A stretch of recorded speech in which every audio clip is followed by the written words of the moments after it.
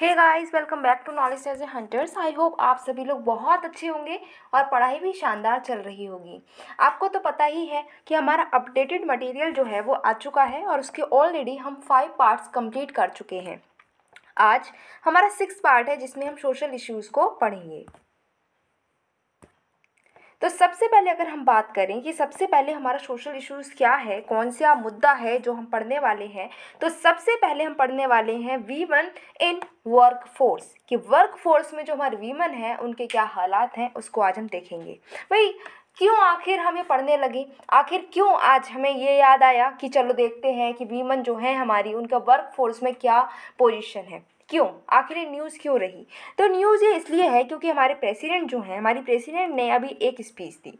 जब उन्होंने रिसेंटली जो स्पीच दी है हमारी प्रेसिडेंट ने, तब उन्होंने बताया कि जो वीमेन है, उनका पार्टिसिपेशन बहुत ही लो रहता है वर्क फोर्स में और इसी वजह से हमारी कंट्री का ओवरऑल डेवलपमेंट नहीं हो पा रहा है। तो मतलब क्या है कि हमारी प्रेसिडेंट जो है, हमारी प्रेसिडेंट ने बताया कि जब तक हमारी जो वर्क फोर्स है, उसमें हमारी वीमेन जो हैं, उनका पार्टिसिपेशन ज़्यादा से ज़्यादा नहीं होगा, हम तरक्की नहीं कर पाएँगे।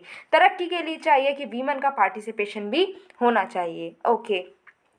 अभी जो हमारा फिफ्थ लेबर फोर्स सर्वे हुआ था, ठीक है? इसमें क्या बातें सामने आई? तो इन्होंने बताया है कि जो female labour force participation rate है, वो सिर्फ़ टू पॉइंट एट परसेंट रहा, जो कि काफ़ी कम है। आधा भी नहीं है राइट फिफ्टी परसेंट भी नहीं है। फिफ्टी परसेंट से भी बहुत कम है female labour force participation rate worker population ratio जो है वीमन का, वो सिर्फ़ और सिर्फ़ thirty one point seven percent है। वहीं पर अगर हम मैन की बात करें तो seventy three point eight percent है। तो काफ़ी ज़्यादा यहाँ पर भी डिफरेंस देखने को मिल रहा है। अनएम्प्लॉयमेंट रेट की बात करें वीमेन की तो सिर्फ़ थ्री पॉइंट थ्री परसेंट ही अनएम्प्लॉयमेंट रेट है। ओके? अगर हम बात करते हैं कि जो बीमन का पार्टिसिपेशन है वर्क फोर्स में, वो तो बड़ा है, ठीक है? अगर हम पिछले लेबर फोर्स सर्वे जो हमारा हुआ है, उससे कंपेयर करें तो हाँ कुछ तो इम्प्रूवमेंट हुआ है पार्टिसिपेशन तो बड़ा है बट क्या उतना बढ़ गया जितना हमें चाहिए था? नहीं, उतना तो नहीं बढ़ा है। अभी हमें बहुत ही ज़्यादा मेहनत करने की ज़रूरत है, बहुत ही ज़्यादा इम्प्रूवमेंट की ज़रूरत है। अच्छा अब बात करते हैं women in white and blue collar jobs ठीक है? कौन सी बात कर रहे हैं कि वीमन जो है, उनका वाइट और ब्लू कलर जॉब में उनकी क्या पोजीशन है? बट इसको जानने से पहले आप बोलेंगे मैम हमें तो यही नहीं पता कि वाइट कॉलर जॉब्स कौन सी होती हैं ब्लू कलर जॉब कौन सी होती हैं और पिंक कॉलर जॉब्स कौन सी होती हैं? क्या वो तो नहीं कि वाइट शर्ट पहन के चले जाएँ, उसे वाइट कॉलर है तो वाइट जॉब हम कह देंगे। पिंक शर्ट पहन के जा रहे हैं, उसे पिंक कॉलर लगाए तो हम कह देंगे पिंक कॉलर जॉब है। नहीं, ऐसा नहीं है। चलो देखते हैं कि आखिर वाइट ब्लू और पिंक कॉलर जॉब्स कौन सी होती हैं। तो वाइट कॉलर जॉब्स में क्या होती हैं, जिसमें बहुत ही ज़्यादा सैलरी मिल रही है, बहुत ही ज़्यादा स्किल है, ठीक है, ऐसी जॉब्स होती हैं, वाइट कॉलर जॉब मतलब कि हाईली पेबल ठीक है, बहुत ही ज़्यादा पेमेंट उसमें मिलता है और स्किल भी बहुत चाहिए होती है। यहाँ पर अगर हम बात करें तो यहाँ पर वीमन अंडर रिप्रेजेंटेड हैं, क्योंकि वीमन जो है, वो science, tech, engineering, math, law, medicine, इसमें काम तो कर रही हैं और बहुत अच्छे अच्छे काम कर रही है, तरक्की हो रही है, बट उतना ज़्यादा नहीं जितना मैन कर पा रहे हैं, राइट? तो अभी भी हमें मेहनत करने की ज़रूरत है। लेकिन अगर हम हाँ बात करें आईटी की, अगर हम बात करें बीपीओ की तो वहाँ पर वीमेन का जो पार्टिसिपेशन है, वो इम्प्रूव हुआ है।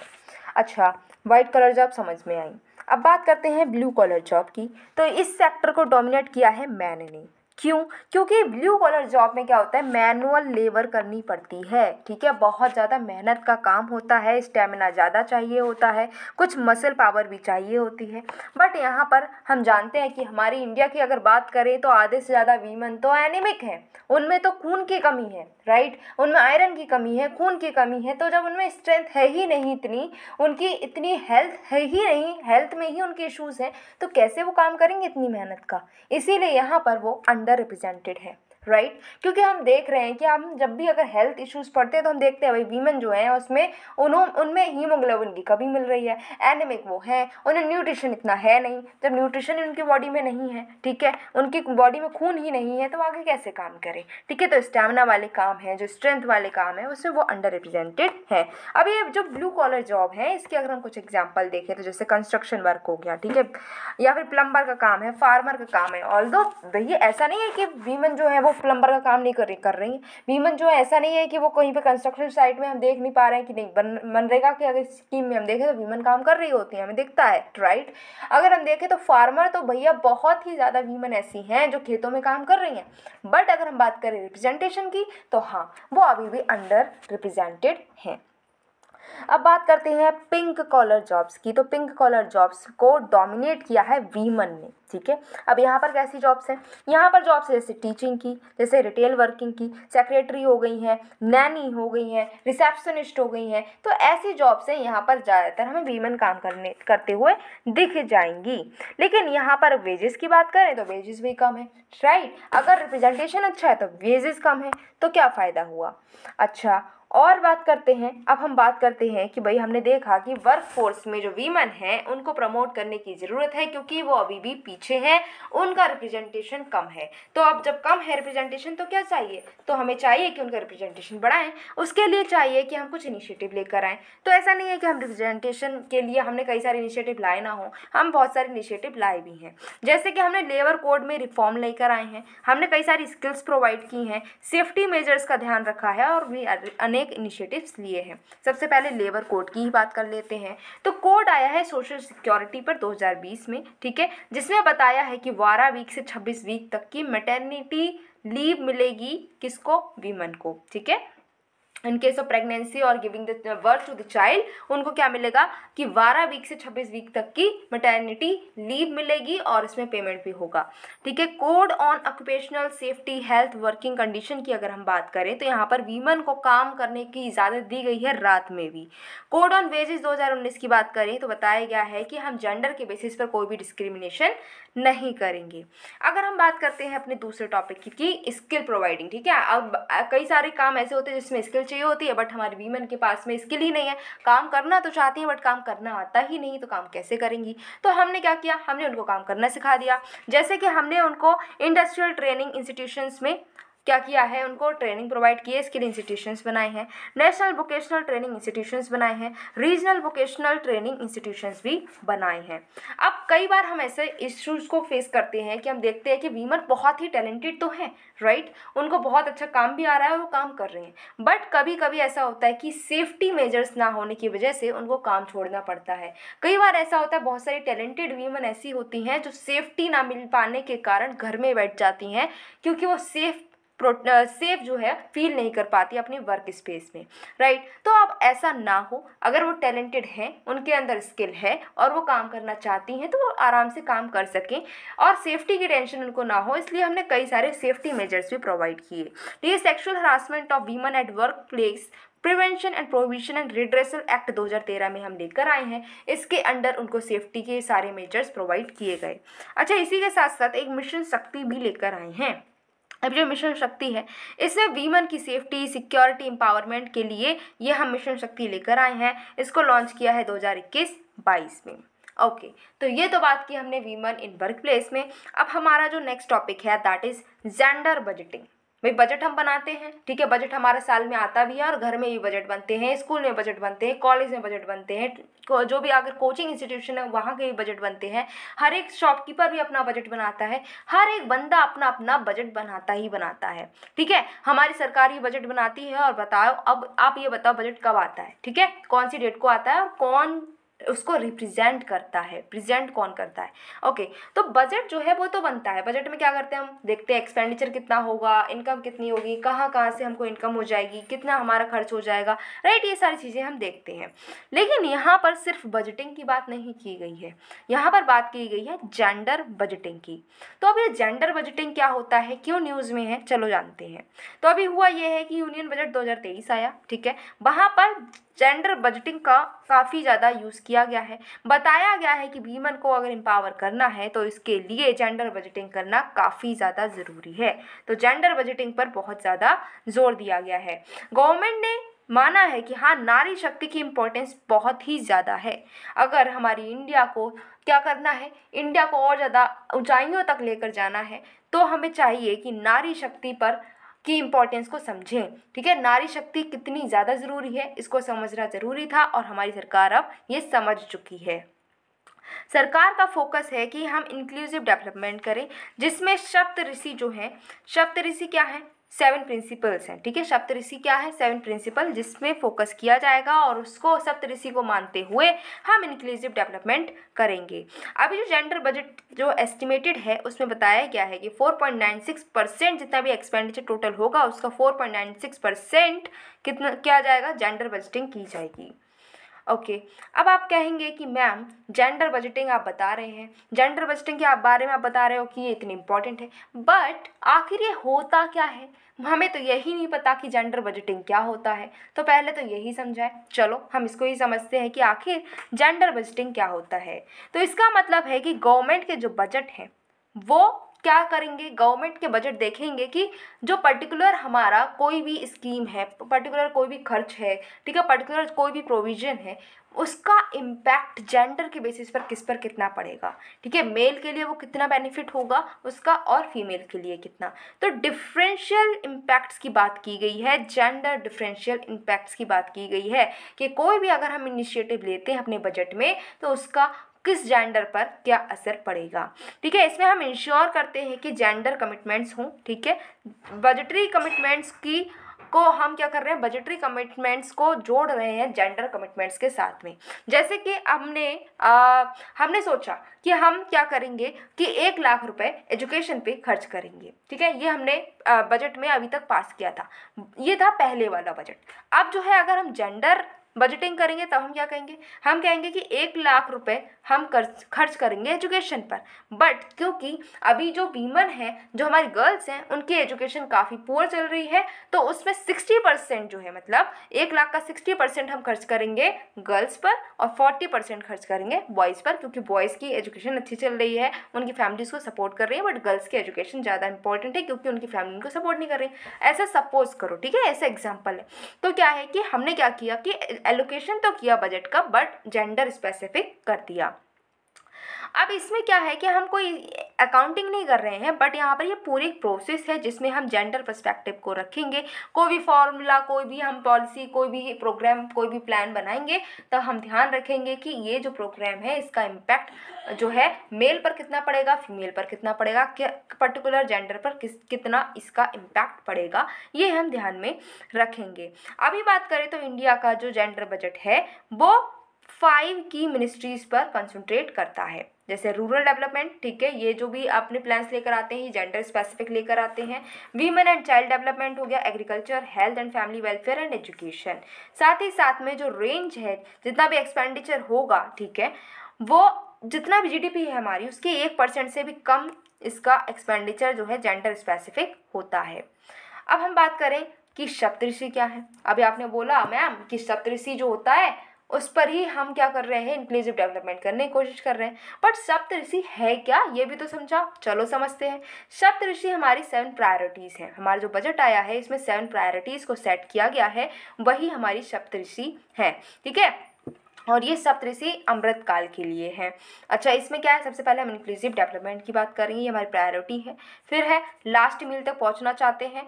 इंफ्रास्ट्रक्चर एंड इन्वेस्टमेंट पर काम करने की कोशिश कर रहे हैं। अपना जो पोटेंशियल है, इसको हम अपना पोटेंशियल का यूज़ करना चाहते हैं। पोटेंशियल तो बहुत है बट हम इसका यूज़ नहीं कर पा रहे। तो यूज़ करेंगे, ठीक है? ग्रीन ग्रोथ करेंगे यूथ पावर पर ध्यान देंगे और फाइनेंशियल सेक्टर पर भी ध्यान देंगे।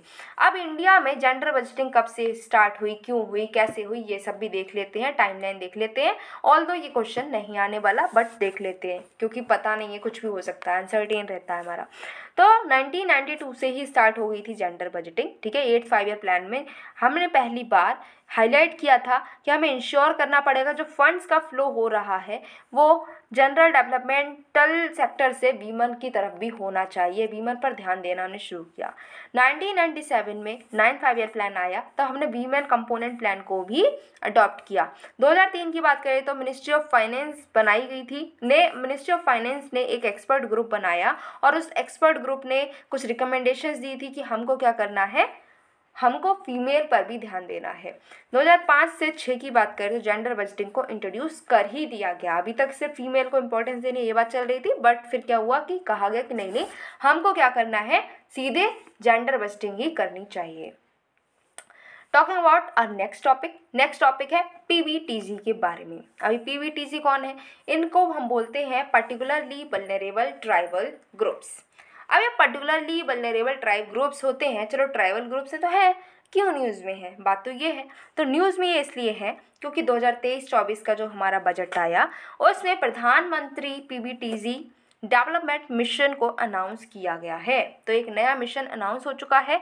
नाम है उसका प्रधानमंत्री पीबीटीसी। डेवलपमेंट मिशन, ठीक है? और ये क्या करेगा? इस ग्रुप की जो भी हमारे पीबीटीसी हैं, इसकी सोशियो इकोनॉमिक डेवलपमेंट पर हम यहाँ पर ध्यान देंगे। ओके, ये मिशन लॉन्च हो चुका है तो मिशन के बारे में भी जानना ज़रूरी है। पूरे मिशन की जन्म कुंडली जानना ज़रूरी है।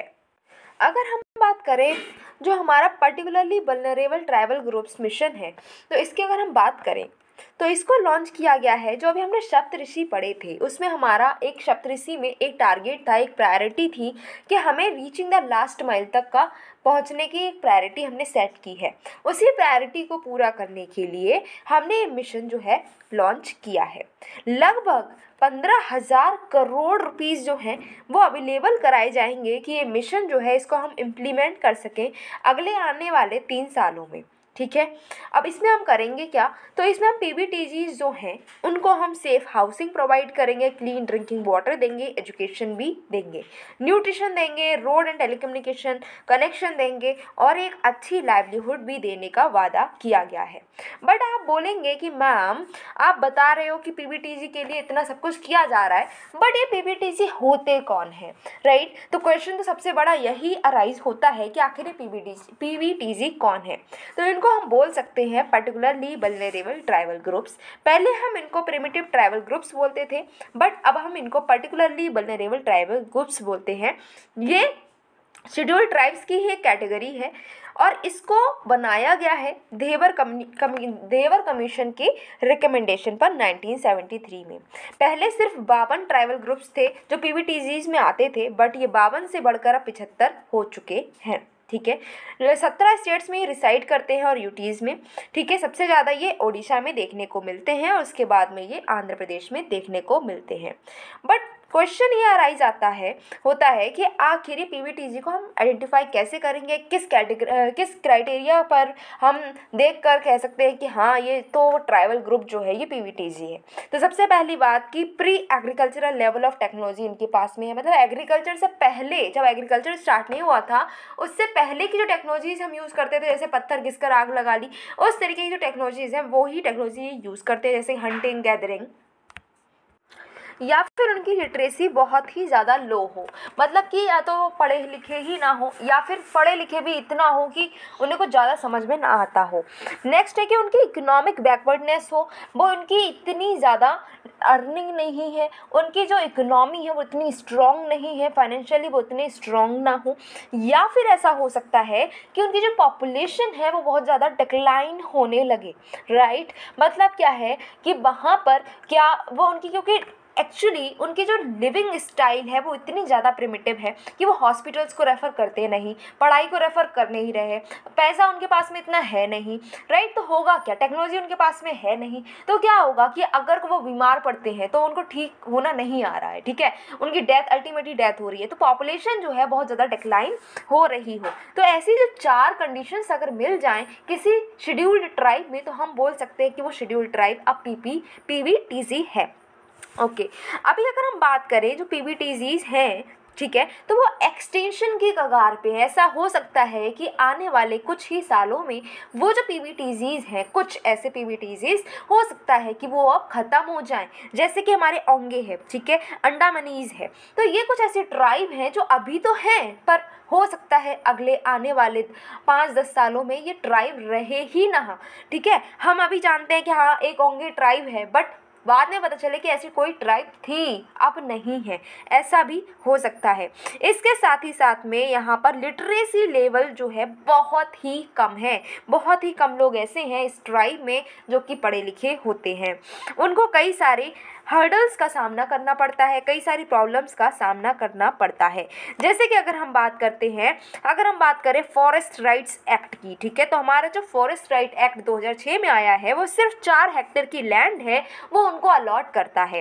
वहीं पर अगर बात करें कि कभी कभी ऐसा होता है, भाई उनके पास में ज़्यादा लैंड हो सकती है ना? ज़रूरी तो नहीं कि फोर हेक्टेयर की ही लैंड होगी राइट उनके पास में ज़्यादा अगर लैंड है तो वो लैंड सारी छीन ली जाती है, उनको दी जाती है तो सिर्फ़ चार हेक्टेयर लैंड राइट तो ये काफ़ी प्रॉब्लम वाली बात हो जाती है। अच्छा पी वी के लिए हमने कई सारे इनिशिएटिव्स और भी लिए हैं, सिर्फ़ मिशन नहीं चलाया है, हमने बहुत सारे काम किए और काम क्या किए हैं? तो हमने indigenous and tribal population convention 1957 में अडॉप्ट की थी। हमने मतलब इंटरनेशनल लेबर ऑर्गेनाइजेशन ने कम्युनिटी डेवलपमेंट प्रोग्राम चलाया है। मल्टीपर्पज़ ट्राइबल ब्लॉक्स बनाए गए हैं। ट्राइबल डेवलपमेंट ब्लॉक बनाए गए हैं। ट्राइबल सब प्लान भी बनाए गए हैं। रिस्ट्रिक्टेड एरिया परमिट भी बनाया गया है, जिसमें क्या होता है कि हर किसी को वहाँ पर जो ट्राइबल एरिया है, वहाँ पर एंटर करना अलाउ नहीं होता। उनको ये परमिट लेना पड़ता है। Scheme for development of primitive vulnerable tribal groups भी लेकर आए थे 2008 में, जिसमें हम हाउसिंग प्रोवाइड करते हैं एग्रीकल्चर रोड्स एनर्जी भी प्रोवाइड करते हैं इन ट्राइबल ग्रुप्स के लिए। अच्छा इसी से रिलेटेड एक न्यूज़ भी है। न्यूज़ है हक्कू पत्रा की। हक्कू पत्रा क्या है? तो पीएम ने अभी क्या किया है? रिसेंटली हक्कू पत्रा को डिस्ट्रीब्यूट किया है, जो बंजारा ट्राइब्स मिलती है कर्नाटका में। तो उस ट्राइब के मेंबर्स के लिए क्या किया गया है? ये हक्कू पत्रा डिस्ट्रीब्यूट किए गए हैं।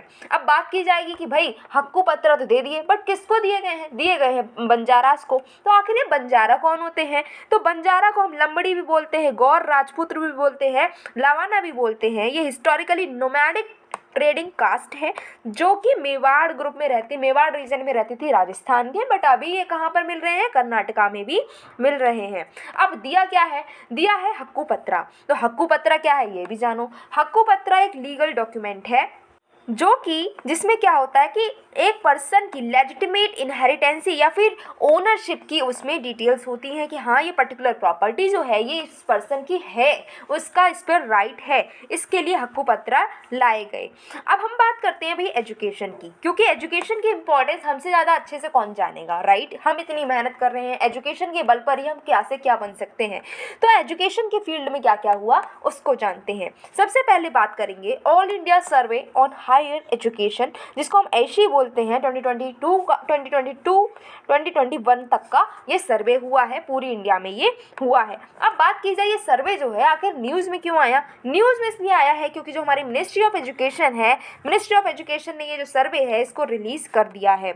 और अगर बात करें तो ये सर्वे जो है, ये कंडक्ट हो रहा है, आज से नहीं, कल से नहीं, परसों से नहीं नहीं, बहुत सालों से मतलब 2011 से ये जो आपका सर्वे है, ये कंडक्ट हो रहा है। मिनिस्ट्री मिनिस्ट्री ऑफ़ एजुकेशन के द्वारा ये कंडक्ट होता है। कवर करता है जितने भी हायर लेवल के जो एजुकेशनल इंस्टीट्यूशंस हैं, उन सबको ये कवर करता है इंडिया के।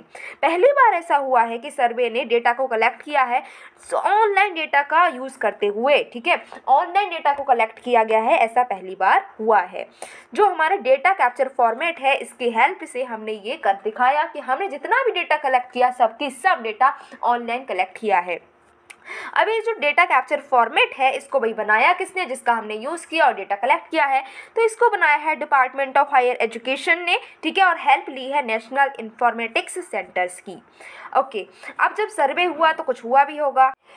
सर्वे करते हैं तो कुछ मिलता भी है। हमें इसमें भी कुछ मिली है, कुछ फाइंडिंग्स मिली हैं जिसको हम देखते हैं, लेकिन इसको रटने की ज़रूरत नहीं है। एग्ज़ाम में नहीं कहीं भी पूछा जाएगा कि बताओ क्या फाइंडिंग्स हुई हैं।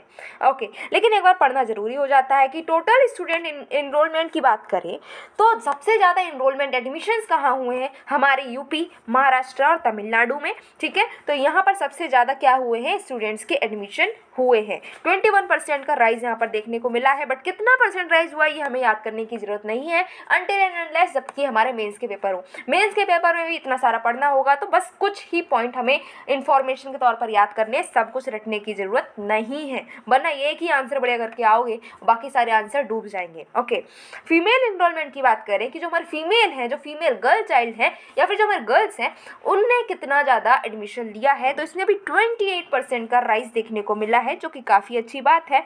अगर हम बात करते हैं कि फीमेल इनरोलमेंट की परसेंटेज कितनी टोटल इनरोलमेंट में से। मतलब टोटल कितने बच्चों ने एडमिशन लिया? उसमें से फीमेल कितनी थी? इसकी बात करें तो इसमें फोर परसेंट का राइज देखने को मिला है। अच्छा चल रहा है, पर और अच्छा हो सकता है।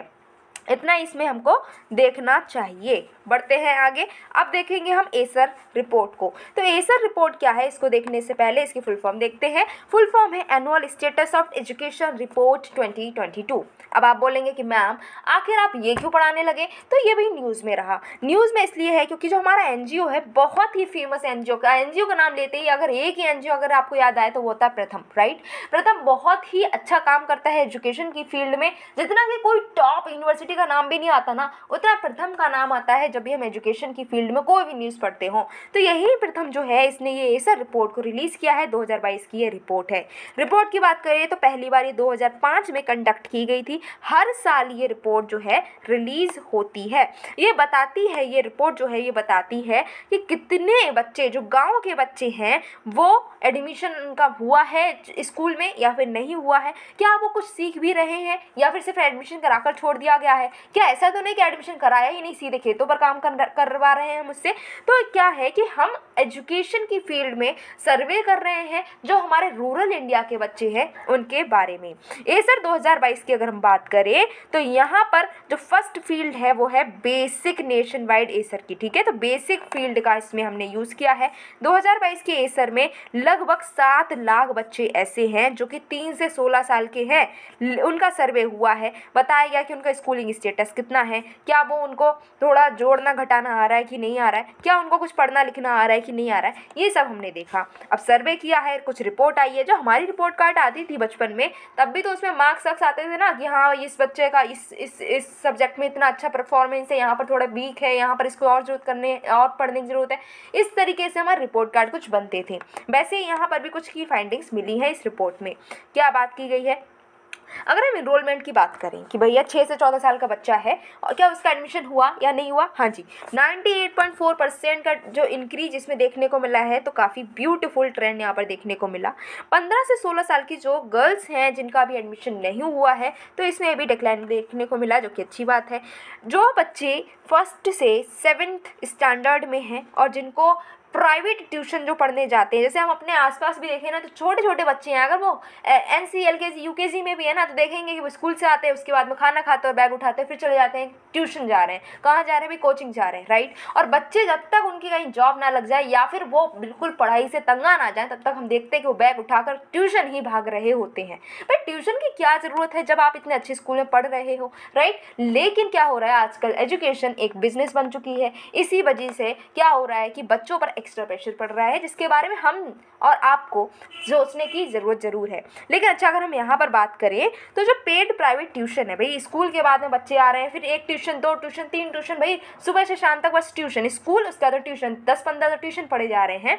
तो ऐसे बच्चे कौन से हैं? तो इसमें इंक्रीज देखने को मिला है। अभी क्या हो रहा है कि बच्चों को शौक लग गया है कि, भाई, हमें भी जाना है ट्यूशन हमें भी पढ़नी है कोचिंग हमारे फ्रेंड कोचिंग पढ़ते हैं, हम भी पढ़ेंगे। अच्छा मैथ की पढ़ेंगे, फिर साइंस की पढ़ेंगे। अच्छा इंग्लिश की भी पढ़ ही लेते हैं।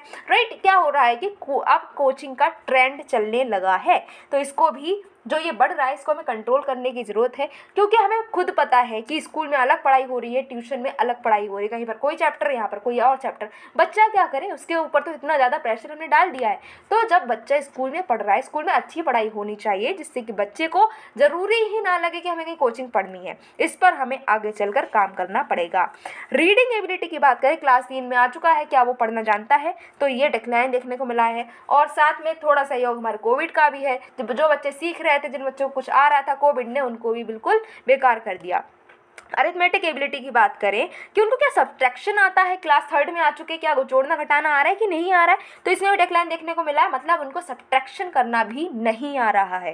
एवरेज टीचर अटेंडेंस क्या टीचर भी स्कूल में आते हैं कि नहीं आते? कई सारे स्कूल ऐसे हम देखते हैं कि जिसमें क्या हो रहा है, बच्चे तो भाई जा रहे हैं पढ़ने की भाई स्कूल चले हम बट क्या टीचर भी कह रहे हैं कि क्या स्कूल चले हम? बच्चों के कहने से काम नहीं चलेगा टीचर को भी तो आना चाहिए। तो हाँ पहले ऐसा होता था कि बच्चे आकर बैठ गए हैं क्लास में वेट कर रहे हैं टीचर ही नहीं आ रहा। लेकिन अब इंप्रूवमेंट देखने को मिला है 87.1 परसेंट का ट्रेंड हमें इंक्रीज देखने को मिला है कि हाँ इस, अब क्या हो रहा है कि टीचर्स भी आ रहे हैं पढ़ाने, बच्चे भी जा रहे हैं पढ़ने। क्या ऐसे स्कूल हैं जहाँ पर ड्रिंकिंग वाटर अवेलेबल है? तो हाँ स्कूल्स में जो ट्रेंड है वो इंक्रीज देखने को मिला है। हाँ भैया, पानी भी अवेलेबल है, प्यास लगे तो भाई पानी भी पी सकते हैं। अच्छा ऐसे स्कूल्स जहाँ पर टॉयलेट्स हैं अवेलेबल गर्ल्स के लिए राइट क्योंकि हम देखते हैं, कई बार ऐसा होता है, कई सारे ऐसे स्कूल हैं जहाँ पर गर्ल्स पढ़ाई तो कर रही हैं बट उनके लिए कोई टॉयलेट नहीं है। भाई, ये तो बेसिक नेसेसिटी है ना ह्यूमन की। अब यही अवेलेबल नहीं है तो बच्चा कैसे पढ़ेगा? उनको प्रॉब्लम हो जाती है राइट तो अभी भी इसमें हमने इंप्रूवमेंट देखा है बट अभी सिक्सटी का ट्रेंड देखने को मिला है, जो कि इंक्रीज़ हो रहा है बट और इंक्रीज़ करने की ज़रूरत है। नेक्स्ट बात करते हैं, एक और रिपोर्ट कार्ड आ चुका है हमारे पास में। नाम है इसका foundational literacy and numeracy report भाई अब ये क्यों न्यूज़ में है, इसको भी जानते हैं। तो ऑब्वियसली इसको भी रिलीज़ किया है, लेकिन किसने रिलीज़ किया है इंपॉर्टेंट तो हमारे लिए ये हो जाता है जानना। तो इसको रिलीज़ किया है ये सी पी एम ये क्या है भाई? तो ये है economic advisory council to the prime minister ठीक है? तो ये प्राइम मिनिस्टर जी की हेल्प से ये रिपोर्ट जो है रिलीज़ हुई है।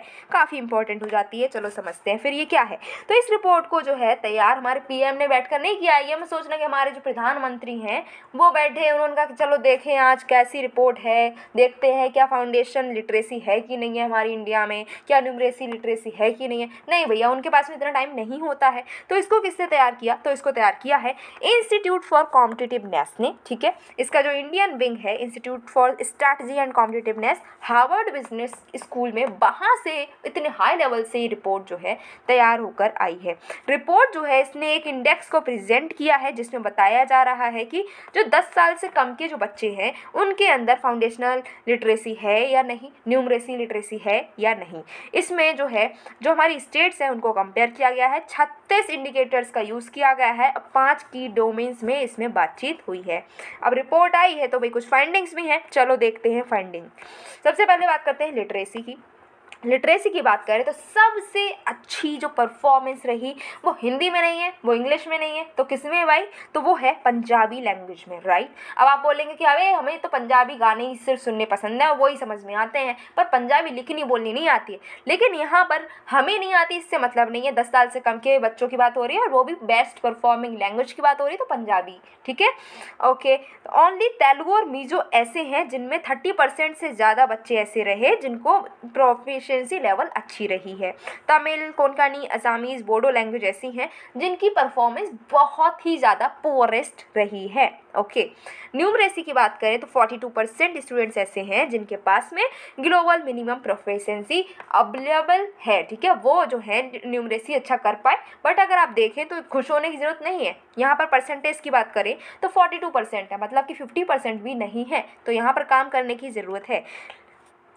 हायर परसेंटेज जो गर्ल स्टूडेंट परफॉर्मेंस परफॉर्म किया है। अगर बॉयज़ की बात करें तो बॉयज़ की मैथ अच्छी निकल गई और गर्ल्स की कम निकल गई है। भाई, ये तो अगर हम देखें तो हमारे आसपास ही जनरली हम देखते हैं तो ऐसा ही हो रहा है। I don't know why but ऐसा हो रहा है कि बॉयज़ जो है उनकी मैथ अच्छी हो जाती है और गर्ल्स को मैथ से डर लगता है। लेकिन ऐसा भी नहीं है कि हमेशा हर गर्ल को ऐसा लगता है। कुछ गर्ल्स की मैथ बहुत ही स्ट्रांग होती है राइट ओके स्टेट्स परफॉर्मेंस की बात करें कि भाई कौन सी स्टेट ने कितना अच्छा किया? तो पंजाब ने सारे ही इंडिकेटर्स में टॉप किया। भाई, पंजाबी लैंग्वेज ने भी टॉप कर दिया और पंजाब ने भी यहाँ पर टॉप किया है, ठीक है? राजस्थान और सिक्किम भी अच्छे अच्छे काम कर रहे हैं अच्छा उनका रिज़ल्ट रहा, लेकिन अभी और मेहनत करने की ज़रूरत है। ऐसे कौन से स्टेट्स हैं भाई जिनको बहुत ही मेहनत करने की ज़रूरत है? वो है मेघालय, तेलंगाना और यूपी। भाई यूपी को भी बहुत मेहनत करने की ज़रूरत है। कुछ की रिपोर्ट्स की स्नैपशॉट भी यहाँ पर दे रखी है, जिसको भी हम देख लेते हैं। तो annual status of education report ASER अभी हमने एसर की बात की ही एसर कौन रिलीज़ करता है? प्रथम रिलीज़ करता है। आपको इतनी सारी चीज़ें अगर नहीं पढ़ मिले तो मत पढ़िए, लेकिन इतना ज़रूर पढ़ना है। इतना तो हमें रटना ही पड़ेगा, ठीक है? तो बताइए एसर किसने रिलीज़ की? एसर रिलीज़ करता है प्रथम। क्या प्रथम कोई कंपनी है? नहीं। तो प्रथम क्या है? प्रथम एक एनजीओ है। फिर नेशनल अचीवमेंट सर्वे। तो जब नेशनल लेवल पर बात हो रही है तो हमारी मिनिस्ट्री ऑफ़ एजुकेशन ने, ठीक है फाउंडेशनल लिटरेसी वाली अभी हमने बात की है, रिपोर्ट कार्ड कौन निकालता है तो इंस्टीट्यूट फॉर कॉम्पिटिटिवनेस और जो economic advisory council to PM है वो, ठीक है। अच्छा फाउंडेशन लर्निंग स्टडी की बात करें तो मिनिस्ट्री ऑफ़ एजुकेशन और एन ठीक है, यूनिसेफ के साथ में मिलकर ऐसा करते हैं, ठीक है। अच्छा नेक्स्ट बात करेंगे अब हम। अब हम बात करेंगे भैया रिपोर्ट बहुत पढ़नी है। बहुत सारा हमने रिज़ल्ट देख लिया, लड्डू पेड़ा खा लिए हैं कुछ में अच्छी बात हुई, कुछ में बुरी बात हुई, मेहनत कर लेंगे, कोई दिक्कत नहीं। लेकिन अब हम बात करते हैं पूरी यूनिवर्सिटीज़ की पेपर पर की बात क्यों करें रिपोर्ट की बात क्यों करें रिपोर्ट कार्ड तो आ गया। रिपोर्ट कार्ड आ गया, अब हम जाते हैं यूनिवर्सिटी में। तो एक यूनिवर्सिटी की बात करते हैं यूनिवर्सिटी है हमारी एनडीयू ओके एनडीयू क्या है? नेशनल डिजिटल यूनिवर्सिटी अब ये क्या है, क्यों है न्यूज़ में? चलो ये जानना ज़रूरी है, जानते हैं। तो जो फ्रेमवर्क है नेशनल डिजिटल यूनिवर्सिटी का, जो कि हमने नेशनल एजुकेशन पॉलिसी में देखा था, ये फ्रेमवर्क कैसा होगा, कैसी ये यूनिवर्सिटी होगी, इसका जो फ्रेमवर्क है वो अभी रिलीज़ कर दिया गया है। अब बात करते हैं ये यूनिवर्सिटी की और ये क्या फ्रेमवर्क रहा, जो अभी रिलीज़ हुआ है, इसकी भी। तो नेशनल डिजिटल यूनिवर्सिटी की बात करें, ये एक यूनिवर्सिटी है, जिसमें क्या किया जाएगा, जो अलग अलग हायर एजुकेशनल इंस्टीट्यूशंस हैं, उन सबको एक साथ लाया जाएगा। ठीक है, अब एक साथ लेकर आएँगे, इसका मतलब ये नहीं कि जो हमारी दिल्ली यूनिवर्सिटी है, इलाहाबाद यूनिवर्सिटी है, मद्रास यूनिवर्सिटी है, इन सबको मिलाकर उठा लाएँगे उनकी बिल्डिंग को और एक जगह पर जोड़ देंगे। नहीं नहीं, ऐसा थोड़ा ना करना है। डिजिटल इंडिया है तो डिजिटल काम होगा। मतलब क्या है कि ऑनलाइन कोर्सेज प्रोवाइड करेंगे। ठीक है, सारे जो हायर एजुकेशनल इंस्टीट्यूशंस हैं, इनको एक साथ एक वेब पोर्टल पर जोड़ा जाएगा और वहाँ पर जितने भी ये टॉप क्लास जो आपके कोर्सेज रहते हैं वो अवेलेबल हो जाएँगे ऑनलाइन ठीक है? फ्रेमवर्क क्या रहेगा? तो ऑनलाइन कोर्सेज अवेलेबल होंगे जो कि पार्टनर इंस्टीट्यूट जो हैं वो ऑफ़र करेंगे। वो हो सकता है कि प्राइवेट यूनिवर्सिटीज़ हो, ये भी हो सकता है कि पब्लिक यूनिवर्सिटीज़ हो। फंक्शनिंग कैसे होगी भाई कैसे काम करेंगे? तो हब एंड स्पोक मॉडल पर काम किया जाएगा। अब आप बोलेंगे, मैम, ये हब एंड स्पोक बहुत बार आता रहता है बट आज तक समझ ही नहीं आया क्या होता है हब एंड स्पोक इसको यहाँ पर यूनिवर्सिटी के मामले से नहीं जोड़ते हैं, हम इसको ऐसे समझते हैं। सपोज़ करो, ये हमारे हैं डोरेमोन, ठीक है? डोरेमोन है, ठीक है? ओके अब यहाँ पर क्या है? यहाँ पर हमारे आ जाते हैं ए बी सी ठीक है? इनके पास में क्या है? इसके पास में ऑरेंज है, इसके पास में बनाना है, इसके पास में मैंगो है, ठीक है? अब इन्होंने क्या किया? इन्होंने डोरेमोन को दे दिया। डोरेमोन की जो पॉकेट है ना, अच्छी सी मैजिक वाली, ठीक है? उसी पॉकेट में इन्होंने ऑरेंज डाल दिए अपने, इन्होंने अपने बनाना डाल दिया और इन्होंने अपने मैंगो डाल दिए। अब नोबिता आया सुजुका आई और कौन आया? जियान आ गया, ठीक है? अब इन्होंने इनको जो भी चाहिए, किसी को चाहिए ऑरेंज किसी को चाहिए मैंगो किसी को चाहिए बनाना तो अब जिसको जो चाहिए वो डोरेमोन वापस कर देगा, इनको ये प्रोवाइड कर देगा। तो ये होता है हब एंड स्पोक ये पूरा हब हो गया है। अब यहाँ पर ये इसके स्पोक हो गए। यहाँ पर जो है सारा सामान दे दिया जा रहा है और यहाँ से वो ट्रांसफ़र हो जा रहा है। तो ऐसा ही होगा यहाँ पर हब एंड स्पोक में, ठीक है? सारे लोग क्या करेंगे? अपने अपने कोर्सेज प्रोवाइड करेंगे इस वेब पोर्टल पर। फिर जिस भी स्टूडेंट को जो भी चाहिए है, जो भी कोर्स चाहिए, वो यहाँ से अवेलेबल हो जाएगा। हो गया यहाँ की फंक्शनिंग का काम पूरा। ओके अब यहाँ पर आईटी और एडमिनिस्ट्रेटिव सर्विसेज़ की बात करें तो कौन देगा? तो वो देगा समर्थ पोर्टल। ठीक है, ये समर्थ पोर्टल किसका है भाई? हमारी सरकार का है। जब इतना बड़ा काम होगा तो सरकार ही आगे आएगी ना? ओके कौन कौन से कोर्सेज प्रोवाइड होंगे? कोर्सेज के क्या टाइप होंगे? तो इस जो कोर जो आपके स्टूडेंट्स हैं, ठीक है, वो स्टूडेंट्स क्या कर सकते हैं? सर्टिफिकेट के लिए भी काम कर सकते हैं, पढ़ाई कर सकते हैं, डिप्लोमा ले सकते हैं, डिग्री भी ले सकते हैं, ठीक है? तो चाहे आप सर्टिफिकेट के लिए आप कोई कोर्स कर सकते हैं, आप डिप्लोमा कोर्स कर सकते हैं, आपका मन है तो आप डिग्री कोर्स भी कर सकते हैं। क्रेडिट बेस्ड यूनिवर्सिटी डिग्री भी मिलेगी, ठीक है? कुछ जो कोर्सेज हैं, उनमें क्या हुआ? कुछ आपको क्रेडिट भी प्रोवाइड किए जाएँगे। स्टूडेंट्स एलिजिबल होंगे कि वो एक पर्टिकुलर इंस्टीट्यूट से डिग्री भी ले सकते हैं। अगर उनके पास में पचास परसेंट क्रेडिट्स इकट्ठे हो गए तो पचास परसेंट क्रेडिट्स के बदले वो कोई भी डिग्री ले भी पाएँगे। एनडीयू डिग्री की अगर हम बात करें तो अगर कोई स्टूडेंट है जिसको मल्टीपल इंस्टीट्यूशन से कई सारे क्रेडिट्स मिले हैं और क्रेडिट लिमिट से ज़्यादा क्रेडिट हो चुके हैं तो एनडीयू उसको क्या करेगा? डिग्री प्रोवाइड करेगा। कितनी सीट्स हैं यहाँ पर? तो अनलिमिटेड है भाई। हर कोर्स के लिए जिसको भी मन है ना, वो सब आ सकते हैं। इसके द्वार सबके लिए खुले खुले हुए हैं राइट जिसका मन है भैया डिग्री चाहिए, आ जाओ। जिसका मन है कि डिप्लोमा चाहिए, आ जाओ। जिसका मन है भाई सर्टिफिकेट भी चलेगा तो वो भी आ जाए। सबका वेलकम है यहाँ पर। ओके एबीसी सिस्टम है। अब ये क्या सिस्टम है? तो यहाँ पर क्या है? एक standardize academic bank of credit system का यूज़ किया जा रहा है, जो कि हमारी यूजीसी ने बनाया है। ओके अब ए बी सी सिस्टम को और भी डिटेल में यहाँ पर समझाया गया है। जब समझाया है तो हम समझ लेते हैं, हमें क्या दिक्कत? चलो समझते हैं। ए बी सी सिस्टम क्या होता है? तो एक ये डिजिटल स्टोर हाउस है। ठीक है, क्या है? डिजिटल स्टोर हाउस है, जिसमें क्या हुआ कि एक इंडिविजुअल स्टूडेंट ने कितने क्रेडिट अर्न किए हैं, अपनी पूरी पढ़ाई जितनी, जब भी उसने की है हायर लेवल एजुकेशन में जितनी भी पढ़ाई की है अलग अलग इंस्टीट्यूट से अलग अलग कोर्सेज से, जितनी भी पढ़ाई की है, उसके क्रेडिट्स यहाँ पर स्टोर होंगे, उसका ये स्टोर हाउस है। हम सबके घर में भी एक स्टोर हाउस होता है। इवन हमारी फ़ोन में भी एक स्टोर हाउस होता है, हमारी लाइफ में भी एक स्टोर हाउस होता है, हमारे माइंड में भी एक स्टोर हाउस होता है। ऐसे ही यहाँ पर एक स्टोर हाउस बना दिया गया है कि आपके जितने भी क्रेडिट्स हैं वो यहाँ पर इकट्ठे होते रहेंगे। आपको टेंशन लेने की ज़रूरत नहीं है कि मेरे कितने मार्क्स है, कितने क्रेडिट मिले नहीं आपको याद नहीं करना। याद कौन करेगा? ये ABC system academic bank account की बात करें तो हर इंडिविजुअल अकाउंट को खोला जाएगा। इंडिविजुअल जो बच्चा है उसका क्या होगा? अकाउंट खोला जाएगा। अब भाई अकाउंट अगर हम बैंक में खोलते हैं तो ऑपरेट कौन करता है? भाई हम ही जाते हैं ना अपने बैंक में अकाउंट के लिए, जो भी हमें लेन देन करनी है वो हम ही ऑपरेट करेंगे। तो ऐसे ही जब अकेडमिक बैंक अकाउंट खोलेंगे तो जो भी स्टूडेंट का ये बैंक अकाउंट ये जो अकाउंट खुलेगा, वो खुद भी ऑपरेट इसको करेगा। जिसमें उसके अकेडमिक क्रेडिट्स होंगे ऑब्वियसली बैंक में हमारे क्रेडिट्स होते हैं, हमारे जो पैसा है, वो हम जमा करते हैं, यहाँ पर हम जो क्रेडिट अर्न करेंगे, वो हमारे जमा होंगे। ओके क्रेडिट ट्रांसफ़र भी हम कर सकते हैं और क्रेडिट का रिडेम्पशन भी हो पाएगा। नेक्स्ट बात करते हैं draft national medical commission amendment bill 2022 जहाँ पर भी ड्राफ्ट लगा हुआ मिल जाए ना तो समझ लेना कि भाई अभी ये सोच विचार इस पर चल रहा है, अभी ये पक्का नहीं हुआ है, अभी ये पास नहीं हुआ है। लेकिन हाँ हो सकता है क्योंकि सोच विचार चल रहा है। अच्छा सोच विचार अब चल रहा है तो कौन से बिल पर चल रहा है?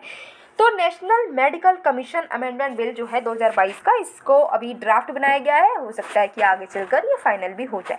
अच्छा न्यूज़ में क्यों है? तो जो हमारे ministry of health and family welfare है, उन्होंने प्रपोजल दिया अभी प्रपोजल वो वाला नहीं है, दिमाग उधर मत चलाओ प्रीलिम्स आने वाले हैं। तो प्रपोजल क्या दिया? इन्होंने कहा है कि एक ड्राफ्ट अमेंडमेंट करने की ज़रूरत है, जो हमारा नेशनल मेडिकल कमीशन एक्ट दो हज़ार उन्नीस का है। उसमें ज़रूरत है कि हम कुछ अमेंडमेंट कर सकें। भाई, वक्त बदल रहा है तो हमें भी बदलने की ज़रूरत है, हमारे एक्ट को भी बदलने की ज़रूरत है। अभी उसमें कुछ बदलाव लाने की ज़रूरत है। अब क्यों ऐसा किया जा रहा है कि भाई बदलाव लाने की ज़रूरत है? क्यों ऐसा वो? राइट अच्छा खासा बिल बना हुआ है एक्ट बना हुआ है तो हम क्यों उसमें छेड़खानी कर रहे हैं? क्यों इतनी मेहनत करेंगे? यहाँ पास कराओ, वहाँ पास कराओ, यहाँ साइन लो, वहाँ साइन लो, क्यों? राइट तो हमारे पास में कुछ रीजन्स हैं इसके लिए, जैसे कि जो प्रोसेस है। जो अभी हमारा existing national board of examination है मेडिकल साइंस में, ठीक है? इसको हम रिप्लेस कर रहे हैं, ठीक है? रिप्लेस कर रहे हैं तो जब रिप्लेस कोई पूरी बॉडी को रिप्लेस करोगे ना तो आपको एक्ट में भी तो रिप्लेसमेंट करनी होगी ना, कुछ अमेंडमेंट करने होंगे, ये हमारी ज़रूरत होगी। दूसरा है कि जो लिटिगेशन बर्डन है ना, अब हमारे जो दिल्ली का जो हाई कोर्ट है, यहाँ पर क्या है, हम जुरिस्डिक्शन लिमिट्स को चेंज कर रहे हैं। अब चेंज कर रहे हैं लिमिट्स को तो यहाँ पर लिटिगेशन बर्डन जो है उसको भी आसान करने की ज़रूरत है। एथिक्स और मेडिकल रजिस्ट्रेशन बोर्ड है, या फिर जिसको हम नेशनल नेशनल मेडिकल कमीशन भी कह रहे हैं, इसको अपीलेट बॉडी की तरह काम कर रहे हैं। ठीक है अपीलेट बॉडी है ये। तो यहाँ पर क्या है कि स्टेट मेडिकल काउंसिल्स हैं। अगर मेडिकल नेग्लिजेंस होता है तो इसके डिसीज़न कौन लेगा? अपीलेट बॉडी कौन बनेगा? तो नेशनल मेडिकल कमीशन इसकी अपीलेट बॉडी बनेगी। अच्छा इसकी अगर हम बात करें इसके स्ट्रक्चर की अगर हम बात करते हैं, जो हमारी कमीशन है, इसके स्ट्रक्चर कैसा है तो एक चेयरपर्सन उनके नीचे सेक्रेटरी है और उनके नीचे यहाँ पर under graduate medical education board post graduate medical education board medical assessment and rating boards ethics and medical registration board board of examination और इन मेडिकल साइंस ठीक है? लेकिन क्या ये हमें याद करना है मैम ये तो याद नहीं हो रहा क्या खिचड़ी पकी हुई है? तो खिचड़ी पकी है तो भाई खिचड़ी को छोड़ दो, खिचड़ी खाने की ज़रूरत नहीं है राइट यहाँ पर ये एग्ज़ाम में नहीं पूछा जाने वाला है। पूछा जाएगा तो हम देख लेंगे राइट हमारे पास में चॉइस होती है एक स्किप भी कर सकते हैं क्वेश्चन राइट सब कुछ अटैम्प्ट तो नहीं करेंगे। क्योंकि ये जो चीज़ है, ये बहुत कम चांसेस है टाइम कम बचा है तो दिमाग यहाँ पर नहीं खर्च करेंगे। हम अच्छी जगह खर्च करेंगे राइट तो हम देखते हैं कि आखिरी जो कमीशन है, इसके फ़ंक्शंस क्या हैं। भैया कमीशन बैठेगी, ठीक है। बहुत सारे महान ज्ञानी लोग बैठेंगे। हाँ जी, बैठेंगे। तो ज्ञानी लोग बैठने वाले हैं ठीक है तो वहाँ पर चाय, नाश्ता, मैगी, पास्ता तो नहीं करेंगे। क्या करेंगे वहाँ पर? वहाँ पर बनाएँगे पॉलिसीज़ पॉलिसीज़ बनाएँगे गाइडलाइंस बनाएँगे। ठीक है, देखेंगे कोई ठीक ठाक काम चल रहा है कि नहीं चल रहा है। अपील जो आएगी उनके पास में उसको भी देखेंगे। साथ ही साथ में रिक्वायरमेंट देंगे हेल्थ सेक्टर में क्या क्या रिक्वायरमेंट है। अब बात करेंगे यूथेनेशिया की। बहुत ही ज़्यादा चर्चा में रहने वाला टॉपिक यूथेनेशिया। ठीक है? यूथेनेशिया न्यूज़ में क्यों है, ये तो समझेंगे ही। लेकिन इससे पहले कुछ और बात समझते हैं। सबसे पहले तो आप ये जान लो कि भाई, ये यूथेनेशिया क्या होता है? राइट इसको जानते हैं। तो यूथेनेशिया की अगर हम बात करें तो देखो, क्या कंडीशन होती है? सपोज़ करो दो कंडीशन है। एक पर्सन है, ठीक है? एक पर्सन जो है, बहुत ही ज़्यादा बीमार। पैरालिसिस हो चुका है उसको, ठीक है? अब हम सपोज़ कर रहे हैं, ठीक है? ऐसा किसी की ना, किसी के साथ ना हो तो अच्छा है। अब ऐसी उसकी कंडीशन है कि उसकी बोन्स जो है ना, अगर वो ऐसे उंगली हिला भी रहा है ना तो उसकी हड्डी टूट जा रही है, ऐसी कंडीशन हो चुकी है। सांस ले, सांस उसको ले ही नहीं मिल रही है, ठीक है? सांस के लिए उसको अलग से मशीन लगी हुई है। किडनी उसकी फेल हो चुकी है तो अलग से मशीन लगी हुई है। हार्ट उसका काम नहीं कर रहा तो अलग से मशीन लगी हुई है, ठीक है? हर चीज़ के लिए अलग से मशीन लगी हुई है, तब वो काम कर रहा है। बस उसके वो आँखें हिल रही हैं, बाकी कुछ भी नहीं हो रहा है उसकी बॉडी में। सारी चीज़ें जो है, सारे काम जो है बॉडी के ऑर्गन्स जो करते थे, वो सब फेल हो चुके हैं और सारे अलग अलग मशीन उसके काम कर रही हैं। ऐसे ही वो बेड पर पड़ा हुआ है हॉस्पिटल के। कई सारे महीने हो चुके हैं, अब वो कह रहा है, भैया, ऐसे कब तक जीना सिर्फ़ सांस ही तो ले रहे हैं। अब तो घर वाले भी आकर नहीं देख रहे कि क्या हाल है, क्या नहीं है। है ना? ऐसी ज़िंदगी से क्या फ़ायदा है? सही होना नहीं है अब हमें। बस सांस लिए पड़े हैं। कुछ होना नहीं है लाइफ में, ना कुछ कर पा रहे ना कुछ बाहर की दुनिया देख नहीं रहे, बस इस रूम में बंद पड़े हैं। क्या करें ऐसे? घर वाले भी आकर बातचीत नहीं करते। तो क्या करें? ऐसी ज़िंदगी से तो अच्छा है कि मर जाए। अगर उसके अंदर ऐसे ख्याल आ रहे हैं, तब की बात है, ठीक है? क्योंकि बॉडी तो सब पूरे ऑर्गन ऑर्गन सब फेल हो चुके हैं, अब वो क्या करें?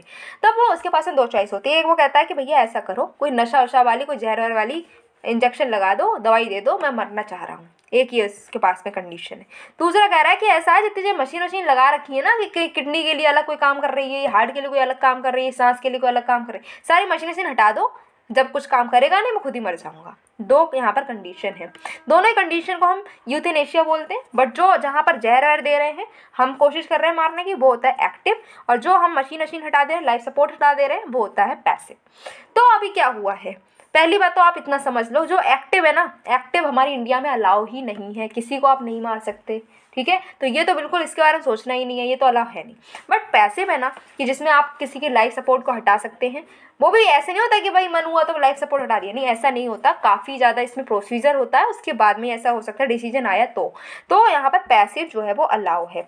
अब देखते हैं पैसिव अलाउ है यूथेनेशिया समझ में आ गई। अब देखो कि भैया क्या न्यूज़ है, क्यों चर्चा में है? चर्चा में इसलिए है क्योंकि हमारे जो सुप्रीम कोर्ट है, इसने क्या किया है कि जो पैसिव यूथेनेशिया है, ये कब कब दी जाएगी, कैसे दी जाएगी, कैसे ये हम लाइफ सपोर्ट हटाएँगे, इस सबके जो रूल्स है ना, उसको और सिंपल बना दिया है। क्यों ऐसा किया? क्योंकि दो हज़ार अठारह में एक केस आया था।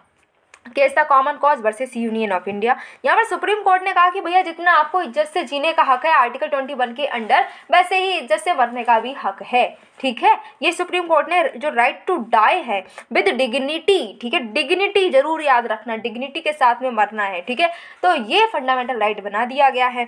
इसी के अकॉर्डिंग अब क्या है कि पैसिव इथेनेशिया है, वो अलाउ कर देगी भाई, पैसिव इथेनेशिया में क्या हो रहा है कि आप जहर तो ले नहीं रहे, आप कह रहे कि भैया इज़्ज़त से ही लेटे पड़े हैं, लेकिन सारी बॉडी जो है, सारे ऑर्गन खराब हो चुके हैं तो अब हम करें क्या? इज़्ज़त से लेटे हैं इज़्ज़त से मर जाएँगे जब सारी बॉडी जब काम ही नहीं कर रही है। तो ये चीज़ अलाउ कर दी गई है। अब ये जो केस है, इसमें जो जजमेंट आया, इसको अब एक्चुअल लाइफ में लेकर आना था और इसके लिए कई सारे हमको चेंजेस लाने पड़े थे। ठीक है, कई सारे चेंजेस लेकर आए हैं हम इसमें।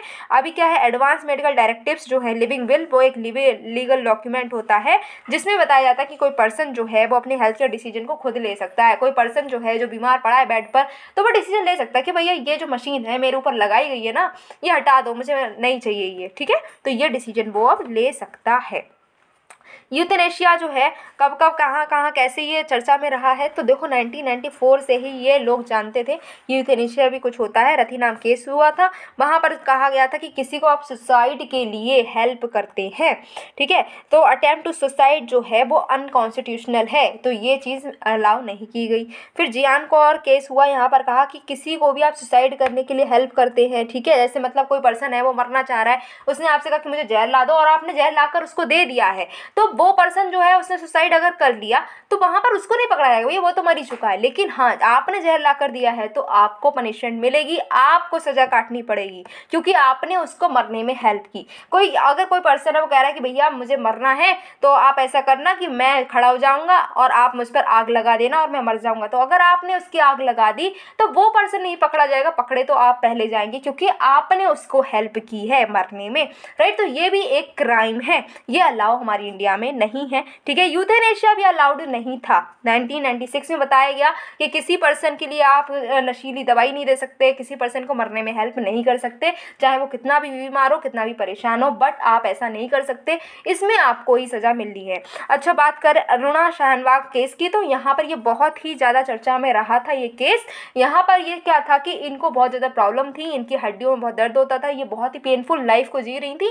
तो इन्होंने कहा था कि जब मेरी ड्रेसिंग होती है तो मुझे बहुत पेन होता है और मैं चाहती हूँ कि मुझे पैसिव जो इथेनेशिया है वो प्रोवाइड कर दी जाए, मैं अब जीना नहीं चाहती।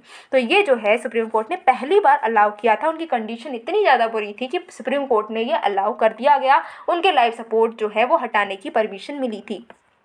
लॉ कमीशन की जो टू वन जो रिपोर्ट आई, उसमें जो है पैसिव यूथेनेशिया के ऊपर ये रिपोर्ट थी। इसमें बताया गया कि एक इंडिविजुअल जो है, उसकी अपना हक है। वो चाहे तो पैसिव यूथेनेशिया को अडॉप्ट कर सकता है, ये उसका हक है कि वो लाइफ सपोर्ट लेना चाहता है या नहीं। ये तो हक उसको होना ही चाहिए। अच्छा अगर अब हम बात करते हैं ये जो जजमेंट है, इसके कुछ आस्पेक्ट भी हैं। लिविंग विल की बात की जाए तो यहाँ पर जो है, एक नोटरी के द्वारा अटेस्ट हो, होगी ये लिविंग बिल ठीक है?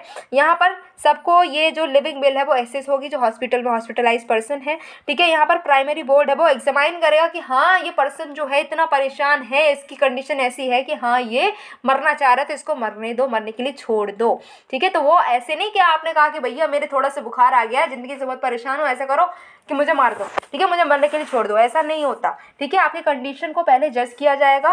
पाँच साल के एक्सपीरियंस वाले तीन डॉक्टर जो हैं, वो और दो और डॉक्टर जो हैं, पाँच डॉक्टर समझ लो टोटल पाँच डॉक्टर आएँगे, जिनके पास में पाँच साल का एक्सपीरियंस होगा, वो आएँगे, आपकी जो हालत है उसको चेक करेंगे कि हाँ सच में ऐसा है कि अब आप ज़िंदगी में बस इस बेड पर ही गुजारनी है, आपकी ज़िंदगी जो आप हॉस्पिटल बेड है, उससे आप हिलेंगे भी नहीं। ऐसी कंडीशन है आप बहुत पेनफुल लाइफ जी रहे हैं कि नहीं?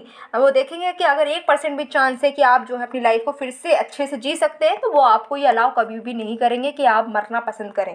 ठीक है? अगर आपकी कंडीशन ऐसी है कि हाँ अब सिर्फ़ आपकी आँखें हिल रही हैं और कुछ हो ही नहीं रहा बॉडी में सारी मशीन ऐसी काम कर रही हैं, तब हो सकता है कि परमिशन मिल जाए। अब कितने टाइम लगेगा ये परमिशन मिलने में? तो अड़तालीस घंटे के अंदर ये परमिशन मिल जाएगा कि आपको जो लाइफ सपोर्ट है वो दिया जाएगा या नहीं। ठीक है? क्या आपको जो ट्रीटमेंट आगे बढ़ाया जाए या नहीं? ठीक है? अभी जो सेकेंडरी बोर्ड है, ये तो हॉस्पिटल तुरंत ही तुरंत एक सेकेंडरी बोर्ड जो है वो भी बनाएगा। अब बात करें डिस्ट्रिक्ट कोर्ट की रजिस्ट्री का रोल क्या रहेगा तो यहाँ पर जो रिक्वायरमेंट इसकी पहले थी, अब वो डिलीट हो चुकी है। ठीक है अपील हाई कोर्ट के बिफोर आप कर सकते हैं तो रेट पिटीशन जो है वो हाई कोर्ट के सामने आप डाल सकते हैं। नेक्स्ट बात करते हैं। अब हम बात करें आयुष्मान भारत प्रधानमंत्री जन आरोग्य योजना की, ठीक है? जिसको हम A B P M J भी बोलते हैं। अब ये क्या है? क्यों चर्चा में है? इसको समझते हैं। तो नेशनल हेल्थ अथॉरिटी ने अभी क्या किया है? एक नया सिस्टम इंट्रोड्यूस किया है। ये जो नया सिस्टम है, ये है, ये किसके अंडर इंट्रोड्यूस किया है? तो हमारा जो आयुष्मान भारत प्रधानमंत्री जन आरोग्य योजना है, इसके अंडर ये नया सिस्टम इंट्रोड्यूस किया गया है, जिसमें हम हॉस्पिटल्स की परफॉर्मेंस कैसी है, उसकी ग्रेडिंग करेंगे। जो नया सिस्टम है, वो इंट्रोड्यूस किया जाएगा। वैल्यू बेस्ड केयर भी यहाँ पर उसका कंसेप्ट इंट्रोड्यूस किया जाएगा। जहाँ पर होगा कि जो प्रोवाइडर्स हैं, उनको रिवॉर्ड भी दिया जाए कि किस तरीके की उन्हें ट्रीटमेंट प्रोवाइड की, किस तरीके की हॉस्पिटल में हमें सर्विसेज़ मिली। जैसे कि हम किसी हॉस्पिटल में जाते हैं तो कभी कभी ऐसा हॉस्पिटल हमें मिल जाता है जहाँ पर जो है, हम बहुत ही अच्छा फील करते हैं, ठीक है? हमें बहुत हेल्प फील होती है। ऐसा नहीं लगता कि हम अकेले हैं, कि हम बीमार हैं तो हमारे साथ ऐसा हो गया, वैसा हो गया। नहीं, बहुत ही अच्छी सर्विसेज़ होती हैं, ठीक है? हमें बहुत ही ज़्यादा फ्रेंडली मैनर में ट्रीट किया जा रहा है। हम अपनी हर प्रॉब्लम को शेयर कर पा रहे हैं। ठीक है? ऐसी बहुत केयर हमें मिल रही है। तो ऐसे हॉस्पिटल तो कुछ हॉस्पिटल ऐसे होते हैं कि हम जहाँ जाकर बीमार नहीं होते ना, तभी हम बीमार हो जाते हैं। वहाँ पर कोई सर्विसेज़ नहीं मिल रही, दवाई नहीं मिल रही है डॉक्टर आ रहे चीख रहे चिल्ला रहे हैं, हमारी परेशानी सुन नहीं रहा है। ऐसी भी कंडीशन होती है। राइट तो दो तरीके की चीज़ें हमें देखने को मिलती हैं। ऐसा तो है नहीं कि हमने कभी ये फेस ना किया लाइफ में कभी ना कभी हमने दोनों ही चीज़ों को फेस किया होगा। राइट तो अब ये जो हॉस्पिटल है ना, किस तरीके की सर्विसेज़ आपको दे रहे हैं, उस, उसके बेसिस पर इनको क्या होगी, कुछ ग्रेडिंग्स मिलेंगी। एम ये है कि जो हॉस्पिटल्स की परफॉर्मेंस है, उसको मेजर करेंगे और सुधारने की कोशिश करेंगे।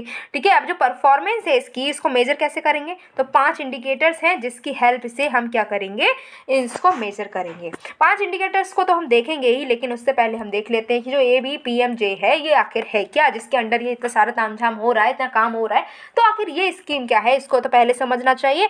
तो ये जो आयुष्मान भारत है, इसका ही एक कंपोनेंट के तौर पर इसको लॉन्च किया है। रिकमेंडेशन इसकी दी गई थी नेशनल हेल्थ पॉलिसी 2017 के अंडर जिसके, जिसका विजन है कि हम यूनिवर्सल हेल्थ कवरेज को अचीव कर पाएँ। दूसरा कंपोनेंट क्या है आयुष्मान भारत का? वो है हेल्थ एंड वेलनेस सेंटर ठीक है, जिसमें हम प्राइमरी हेल्थ केयर को हर किसी तक पहुँचाना चाह रहे हैं। भाई, किसी किसी का अगर बुखार आ गया है तो ऐसा ना कि बुखार आ गया तो सीधे मल्टी केयर हॉस्पिटल में पहुँच जाए दौड़ते हो कि भाई फीवर आ गया। अरे फीवर आ गया है तो आप प्राइमरी हेल्थ केयर से दवाई ले सकते हैं ना? पैरासीटामोल लो और सही हो जाओगे राइट कोल्ड हो गया तो ऐसा नहीं कि आपको बहुत इमरजेंसी वार्ड में जाकर जाके खुद को एडमिट कराना है कि भैया कोल्ड हो गया। ऐसा ना हो। जो छोटी मोटी आपको प्रॉब्लम होती रहती हैं, उसके लिए प्राइमरी हेल्थ केयर हर किसी को मिलनी चाहिए। इंश्योरेंस कवरेज की भी बात करें तो पाँच लाख हर फैमिली को दिया जाएगा हर साल के लिए ये कवरेज फंडिंग पैटर्न जो है वही सेंट्रल स्पॉन्सर्ड स्कीम में होता है कि सिक्सटी फोर्टी नाइन्टी टेन ठीक है? यही फंडिंग यहाँ पर रहेगा। यूटी को हंड्रेड परसेंट फंडिंग मिल जाएगी। कौन कौन लोग ऐसे हैं जिनको ये बेनिफिट होगा। तो ये बेनिफिशरीज जो है, इनका आइडेंटिफिकेशन किया जाएगा। सोशियो इकोनॉमिक कास्ट सेंसस जो हमारे 2011 का हुआ था, उसी के अंडर ठीक है फैमिली साइज़ कितना भी हो सकता है, किसी घर में दो लोग हो सकते हैं, किसी घर में अठारह लोग हो सकते हैं। हर किसी को पाँच लाख पर साल का यहाँ पर इंश्योरेंस मिलेगा। कोई भी एज की लिमिट नहीं, कोई पर्सन अगर 112 साल का है, कोई पर्सन 400 साल का भी अगर है, पहले तो होता ही नहीं, पर अगर सपोज़ करो अगर है तो उसको भी भैया यहाँ पर बेनिफिट मिलेगा, उसको टेंशन लेने की ज़रूरत नहीं है कि भैया हम तो इतने पुराने हैं तो हम हमें यहाँ पर बेनिफिट नहीं मिलेगा। अगर बच्चा नया नया पैदा हुआ, उसको भी मिल जाएगा, टेंशन की बात नहीं। प्री एग्जिस्टिंग कोई डिज़ीज़ है, उसको भी कवर किया जाएगा, भाई किसी को पहले से ही हार्ट की प्रॉब्लम है तो क्या उसको हम देख, अनदेखा कर देंगे? नहीं, ऐसा नहीं है, उसको परेशानी है तो भी उसको ये यहाँ पर बेनिफिट मिलेंगे। कंट्री में कहीं पर भी चले जाओ बेनिफिट मिलेगा क्योंकि इंडिया हमारा पूरा एक है। ठीक है, हम चाहे इंडिया में कहीं पर भी रहते हो रहते हो हम इंडियन ही ना। इसीलिए बेनिफिट हमें सबको, हर जगह से मिल जाएगा। नोडल बॉडी कौन सी है भाई? कोई एक दादा परदादा भी तो होना चाहिए। देखे कि हाँ भैया, ये स्कीम सही से लागू हो रही है कि नहीं हो रही है? हर जगह अगर डिसिप्लिन नहीं होगा, कोई हमारे सिर पर बैठ के हमें देखेगा नहीं ना तो हम ठीक से काम नहीं करेंगे। जानवर बन जाएँगे हम राइट ठीक से काम करने के लिए डिसिप्लिन चाहिए। डिसिप्लिन के लिए चाहिए कोई अथॉरिटी हमारे ऊपर हो तो यहाँ पर अथॉरिटी है नेशनल हेल्थ अथॉरिटी जो इसको इम्प्लीमेंट करेगी। अभी हमने बात की थी कि पाँच इंडिकेटर्स हैं, जिस पर हम देखेंगे कि काम जो है ठीक से चल रहा है कि नहीं? तो यहाँ पर पाँच इंडिकेटर क्या है? कि सेटिस्फेक्शन मिल रहा है कि नहीं मिल रहा है? ठीक है, जैसे आप जाते हैं डॉक्टर के पास में, अपनी दवाई कराते हैं, फिर क्या होता है? दवाई, वही जब इलाज इलाज हो गया, फिर पूछा जाता है, फिर हम कहते हैं ना, भैया, ये हॉस्पिटल अच्छा था, यहाँ पर मेरी जो केयर है अच्छे से हुई ट्रीटमेंट अच्छा से हुआ, मैं तो बहुत सेटिस्फाइड हूँ। राइट तो ये पूछा जाएगा अच्छा हॉस्पिटल रीएडमिशन रेट कितना है? ठीक है, फिर है कि आउट ऑफ़ पॉकेट एक्सपेंडिचर कितना हुआ है? ग्रीवांसेस कन्फर्म ठीक है, उसको भी देखा जा रहा है। इन patients health related quality of life जो है, वो कितनी आपने इम्प्रूव की है। अब बात करते हैं कि ऑर्गन ट्रांसप्लांटेशन ये बहुत ही एडवांस लेवल की बात करेंगे अब यहाँ पर कि जो ऑर्गन ट्रांसप्लांटेशन होता है, इसके लिए कुछ नई गाइडलाइंस आई हैं, इसीलिए चर्चा में है। अच्छा जो रिसेंट जो नया अभी हमारे पास में जो मूव किया गया है, इसका एम ये है कि जो ऑर्गन डोनेशन है, ठीक है ट्रांसप्लांटेशन का जो सिस्टम है इंडिया में, इसको और इम्प्रूव करें। Ministry of health and family welfare ने कुछ जो है चेंजेस इसमें लेकर आए हैं। अब ऑर्गन ट्रांसप्लांटेशन क्या होता है? जैसे हम देखते हैं ना कि किसी ने अपनी आई डोनेट कर दी है, ठीक है आई डोनेट कर दी। अब जो आई डोनेट कर दी तो ये आँख उसकी तो निकल गई। लेकिन ये आँख किसके लगेगी? वो अब आँख ये निकल गई, उसने तो अपनी आँख निकलवा दी। लेकिन ये आँख जो जिसके लग रही है, वो अब किसी पर्सन की आपको पता चले आँख लग गई, पर वो दिखाई नहीं, आँख खराब निकल गई। ठीक है आँख खराब हो गई, लगी नहीं पाई जब तक आँख खराब हो गई। तो क्या फ़ायदा? किसी पर्सन ने अपनी एक आँख दे भी दी और दूसरे के हेल्प हो भी नहीं पाई, बीच वो रखी रही आँख ऐसे ही उसके केयर नहीं हो पाई आँख भी ख़राब हो गई। तो क्या हुआ, एक की आँख चली गई, दूसरे को लगी भी नहीं। तो ऐसा ना हो, ठीक है? किसी ने अपना लीवर दे दिया भैया लीवर तो दे दिया, लेकिन दूसरे को हेल्पफुल नहीं रहा। क्या फ़ायदा? किसी ने अपना हार्ट ट्रांसप्लांटेशन तो करवा दिया भैया दूसरे का हो गया, लेकिन वो जब दूसरे में पहुँचा, तब तक वो दूसरे पर्सन जो था, जिसको हार्ट मिला वो ही मर गया। क्या फ़ायदा? तो ऐसा ना हो, ठीक है? इसको अच्छे से हम कर सकें, इसके लिए कुछ गाइडलाइंस लाई गई हैं। जैसे कि अपर लिमिट जो थी वो बदल दी गई। पहले एज क्या थी कि पैंसठ साल का पर्सन जो है, जो कि ऑर्गन को किसी डैड डोनर से रिसीव कर रहा है, वो पैंसठ साल से ज़्यादा का नहीं होना चाहिए। मतलब क्या है कि कोई भी जैसे होता है ना कि जैसे हमने सुना भी है, देखो जितना सुना है कि पोस्टमार्टम होता है किसी का तो क्या होता है, जो ऑर्गन अच्छे होते हैं, वो निकाल जाता है, ऐसा हम सुनते हैं राइट तो क्या है कि ऐसे या फिर कोई पर्सन है जो डेड डोन मतलब जो, कुछ लोग ऐसे होते हैं ना, कहते हैं, मैं मर जाऊँ तो मेरी ये जो ऑर्गन है, वो मैं डोनेट कर रहा हूँ, मेरे ऑर्गन निकाल लिए जाएँ। ऐसे हमने सुना है। तो वो ऑर्गन जो है, किसी पर्सन ने जो मर गया, अब उसके ऑर्गन जो है निकाल लिए गए। ठीक है? अब वो किसी पर्सन के लगाए जाएँगे। तो जो पर्सन जो रिसीव करेगा ना उस ऑर्गन को, वो पैंसठ साल से ज़्यादा का नहीं होना चाहिए। ये ऐसा पहले एज कैप थी, अब ये हटा दी गई है, अब कोई भी एज नहीं है। लेकिन अभी भी प्रेफरेंस हम किसको देंगे? यंगर रिसिपियंट्स को। क्यों? क्यों देंगे ऐसा? अब मान लो कोई पर्सन है जो साठ साल का है, एक बच्चा है दस साल का है, अब इनको क्या है कि इनको दोनों को ही आँखों की ज़रूरत है। ठीक है, आँखों की ज़रूरत है। अभी साठ साल वाला पर्सन है ना, इसे तो अपनी ज़िंदगी समझ लो, आधी से ज़्यादा ज़िंदगी तो इसने जी ली है ना, इसने दुनियादारी देख ली थी, अब इसको आँख की ज़रूरत है। दस साल वाला बेचारा बच्चा है जिसने दुनिया देखी कहाँ है अभी तो दस साल उसकी कितनी, अभी ज़िंदगी स्टार्ट ही हुई है। तो हम क्या करेंगे, हम कोशिश करेंगे कि आँख जो है, अब आँख का आँख हमारे पास में एक ही है देने के लिए। तो हम क्या करेंगे, ये आँख उठाकर किसको लगाएँगे? दस साल वाले बच्चे को। क्यों? क्योंकि भैया साठ साल वाला तो थोड़े सालों में मर ही जाएगा राइट उसने तो दुनिया देख ही ली अब। अब जो दस साल वाला बच्चा है, इसके हो सकता है कहीं बहुत टैलेंटेड बच्चा हो हो सकता है कि ये कुछ और हमारी जो कंट्री है इसके लिए कुछ अच्छा करे। ये अभी इसकी ज़िंदगी शुरू हुई है तो क्यों ना इसकी ज़िंदगी को सुधारा जाए? क्यों ना ये अपने आ, आने वाले जो पचास साठ साल हैं इसको और अच्छा कर सके। इसीलिए हम कोशिश करते हैं कि जो यंग जो रिसिपेंट होते हैं उनको ये ऑर्गन्स मिलें। डोमिसाइल रिक्वायरमेंट थी, वो रिमूव कर दी गई है। अभी क्या है, जो नीडी पेशेंट हैं, वो रजिस्ट्रेशन करा सकते हैं कि ऑर्गन हमको रिसीव करना है किसी भी स्टेट में, ठीक है? और कहीं पर भी वो सर्जरी वहाँ पर करवा लेंगे। कोई रजिस्ट्रेशन फ़ीस नहीं है, ठीक है? कोई भी स्टेट जो है रजिस्ट्रेशन फ़ीस नहीं मांग सकता। बेनिफिट्स ऑफ़ चेंजेस क्या है कि अब जो प्रोसेस है ऑर्गन डोनेशन ट्रांसप्लांटेशन की, बहुत ही ईजी हो जाएगी। Okay okay. और बात करें तो नेशनल ऑर्गन ट्रांसप्लांटेशन प्रोग्राम ठीक है? ये लेकर आए थे, पीरियड है इसका 2021 से 25 तक। यहाँ पर है कि प्रमोट किया जाएगा कि जो पर्सन मर गया है, ठीक है? वो पर्सन मर गया है, उसके ऑर्गन जो है, वो हम उसको दफना देते हैं या फिर जला देते हैं, फिर किसी भी तरीके से उसकी बॉडी जो है, वो हम ख़त्म कर देते हैं। तो वो ऑर्गन जो काम के थे, वो भी ख़त्म हो जाएँगे। इससे अच्छा अब क्या किया जाए, वो जो ऑर्गन है ना, उनका हम यूज़ कर सकें। वो पर्सन तो बेचारा मर गया है ना तो हम क्या करें, उसके ऑर्गन्स को किसी ऐसे पर्सन के अंदर लगा दें, जिसको ज़रूरत है, जो नहीं मरा है, अभी भाई जो ज़िंदा है, जो अपनी लाइफ को आगे जी जीना चाह रहा है, उसको हम वो ऑर्गन दे दें, इसको प्रमोट किया जाएगा। ठीक है मैन पावर जो है, अब ऑर्गन या टिश्यू डोनेशन तो ऐसा नहीं कि आप काट फाड़ के ऐसे निकाल, नहीं, उसके भी एक प्रोसीजर होता है। तो प्रोसीजर सीखना, समझाना, इतनी स्किल लेकर आना, ये भी प्रमोट किया जाएगा। ठीक है, कैसे अब ऑर्गन निकाल लिया किसी के अंदर से आपने आई निकाल तो ली, अब वो आई को प्रोटेक्ट भी तो करना होगा, ऐसे नहीं हाथ में लेकर घूम रहा भैया, आँख निकाल, ली ले, लो ले लो आँख निकाल ली ऐसा नहीं होता है। उसको हमें प्रोटेक्ट करके रखना है प्रिजर्व करके रखना है। ज़रूरी नहीं कि अभी एक पर्सन की आँख निकाल ली दूसरे पर्सन को वहीं पे निकाल के फिट कर देंगे। नहीं, ऐसा नहीं होता। ठीक है टाइम लगता है। तो बीच में अब आग को उस टाइम तक प्रिजर्व करके रखना है तो उसके लिए कोई, क्या प्रोसीजर होगा? कौन से केमिकल्स लगाने, कहाँ रखनी है, किस टेम्परेचर में रखनी है? ये सब भी तो देखना है ना।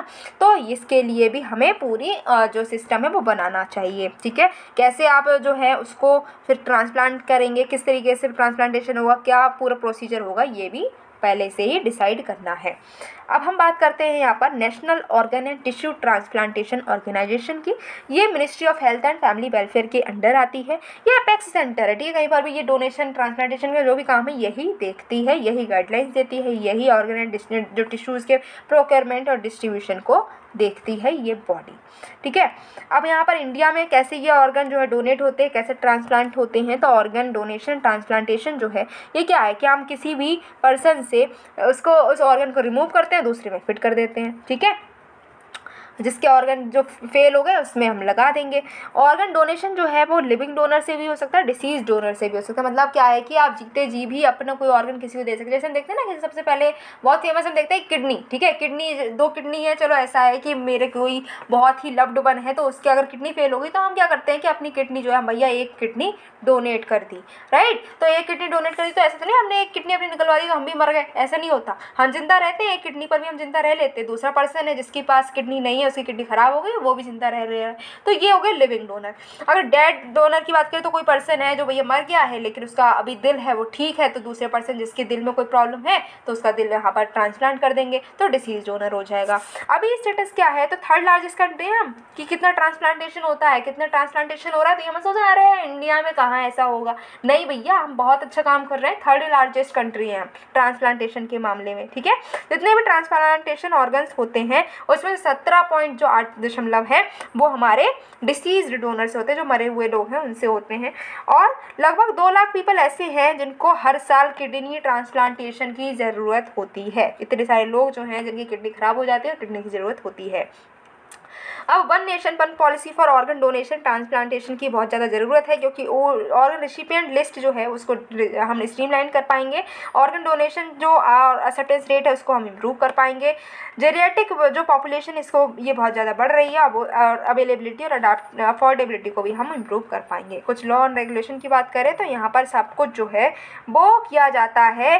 Transplantation of human organs act 1994 के अंडर। अब यहाँ पर क्या है कि किस पर्सन के हम ऑर्गन्स ले सकते हैं? तो ऐसे पर्सन जिसको हम बोलते हैं जिसकी ब्रेन डेथ हो गई है ठीक है? ब्रेन डेथ हो जाती है तो उसको हम बोलते हैं कि उसके ऑर्गन्स जो हैं वो आ, क्या ट्रांसप्लांटेशन हो सकते हैं। नेक्स्ट बात करते हैं जल जीवन मिशन की। भाई, बहुत ज़्यादा डॉक्टर बन चुके हैं डॉक्टर से बाहर आ जाओ, थोड़ा पानी वानी पियो, ठीक है? अब मतलब क्या है कि अब हम पढ़ेंगे जल जीवन मिशन को। जल जीवन मिशन भाई न्यूज़ में क्यों है? क्योंकि जल जीवन मिशन के लिए बजट में एलोकेशन हुआ है एलोकेशन को बढ़ा दिया गया है। जो अभी जो एलोकेशन है वो सत्ताईस परसेंट से बढ़ाया है, जो नया बजट हमारा आया है, उसमें ये जो जल जीवन मिशन है, इसमें और ज़्यादा पैसा मिलेगा, ऐसा बोला गया है। अब ये जल जीवन मिशन जिसको इतना पैसा मिल रहा है तो जानना तो ज़रूरी है ही कि आखिर ये जल जीवन मिशन क्या है। तो चलो जानते हैं जल जीवन मिशन आखिर क्या है? तो 2019 में हमारी जो सरकार है, उसने क्या किया कि जो हमारा पहले national rural drinking water programme था, इसको बदल कर इसको बना दिया जल जीवन मिशन। अब ये मिशन है तो कुछ ऑब्जेक्टिव्स भी होंगे। हम भी पढ़ाई वढ़ाई कर रहे हैं। अगर इतनी मान लो आप पढ़ाई इतनी कर रहे हैं, इतनी मेहनत कर रहे हैं, रात दिन एक करके पढ़ाई कर रहे हैं, कुछ गोल्स है ना, कुछ एम्स है जिसको अचीव करना है इसीलिए आप इतनी मेहनत कर रहे हैं। तो हमने मिशन बनाया तो इसके भी गोल्स हैं ना? हाँ गोल्स हैं। जैसे कि हम क्या कर रहे हैं, हर घर, हर घर में हम पानी प्रोवाइड करने की कोशिश कर रहे हैं, ठीक है? जितना भी रूरल हाउस होल्ड है, वहाँ पर टैप कनेक्शन प्रोवाइड करने की कोशिश कर रहे हैं, ठीक है? अब यहाँ पर जो है, ऐसे एरिया जहाँ पर जो है सूखा वूखा पड़ जाता है, पानी का भी अवेलेबल नहीं होता, वहाँ पर ज़्यादा हम तवज्जो दे रहे हैं। फंक्शनल टैप कनेक्शन दे रहे हैं स्कूल के लिए, आंगनवाड़ी के लिए हेल्थ सेंटर के लिए। भैया हॉस्पिटल है, वहाँ पर पानी ही नहीं है, बताओ क्या होगा? कोई इंसान है, बहुत बीमार है, लेकिन वहाँ पानी नहीं तो वो बेचारा बिना पानी के ही मर रहा है। ठीक है ट्रीटमेंट क्या लेगा जब वो पानी नहीं मिल रहा उसको? तो ऐसा ना हो कि बच्चे स्कूल पढ़ने तो जा रहे हैं, लेकिन भैया, बहुत तेज़ धूप है, मई चल रही है इतनी गर्मी लग रही है, उसको प्यास लग रही है। वाटर बॉटल ले तो गया था, लेकिन वो ख़त्म हो गया पानी, अब बताओ क्या करें? प्यासा रहेगा तो वो अगले दिन जाएगा, नहीं होगा, भैया, हम प्यासे नहीं मर पाएँगे, पढ़े या ना पढ़े, अनपढ़ रह लेंगे, वो सही है, लेकिन प्यासे तो नहीं मर पाएँगे।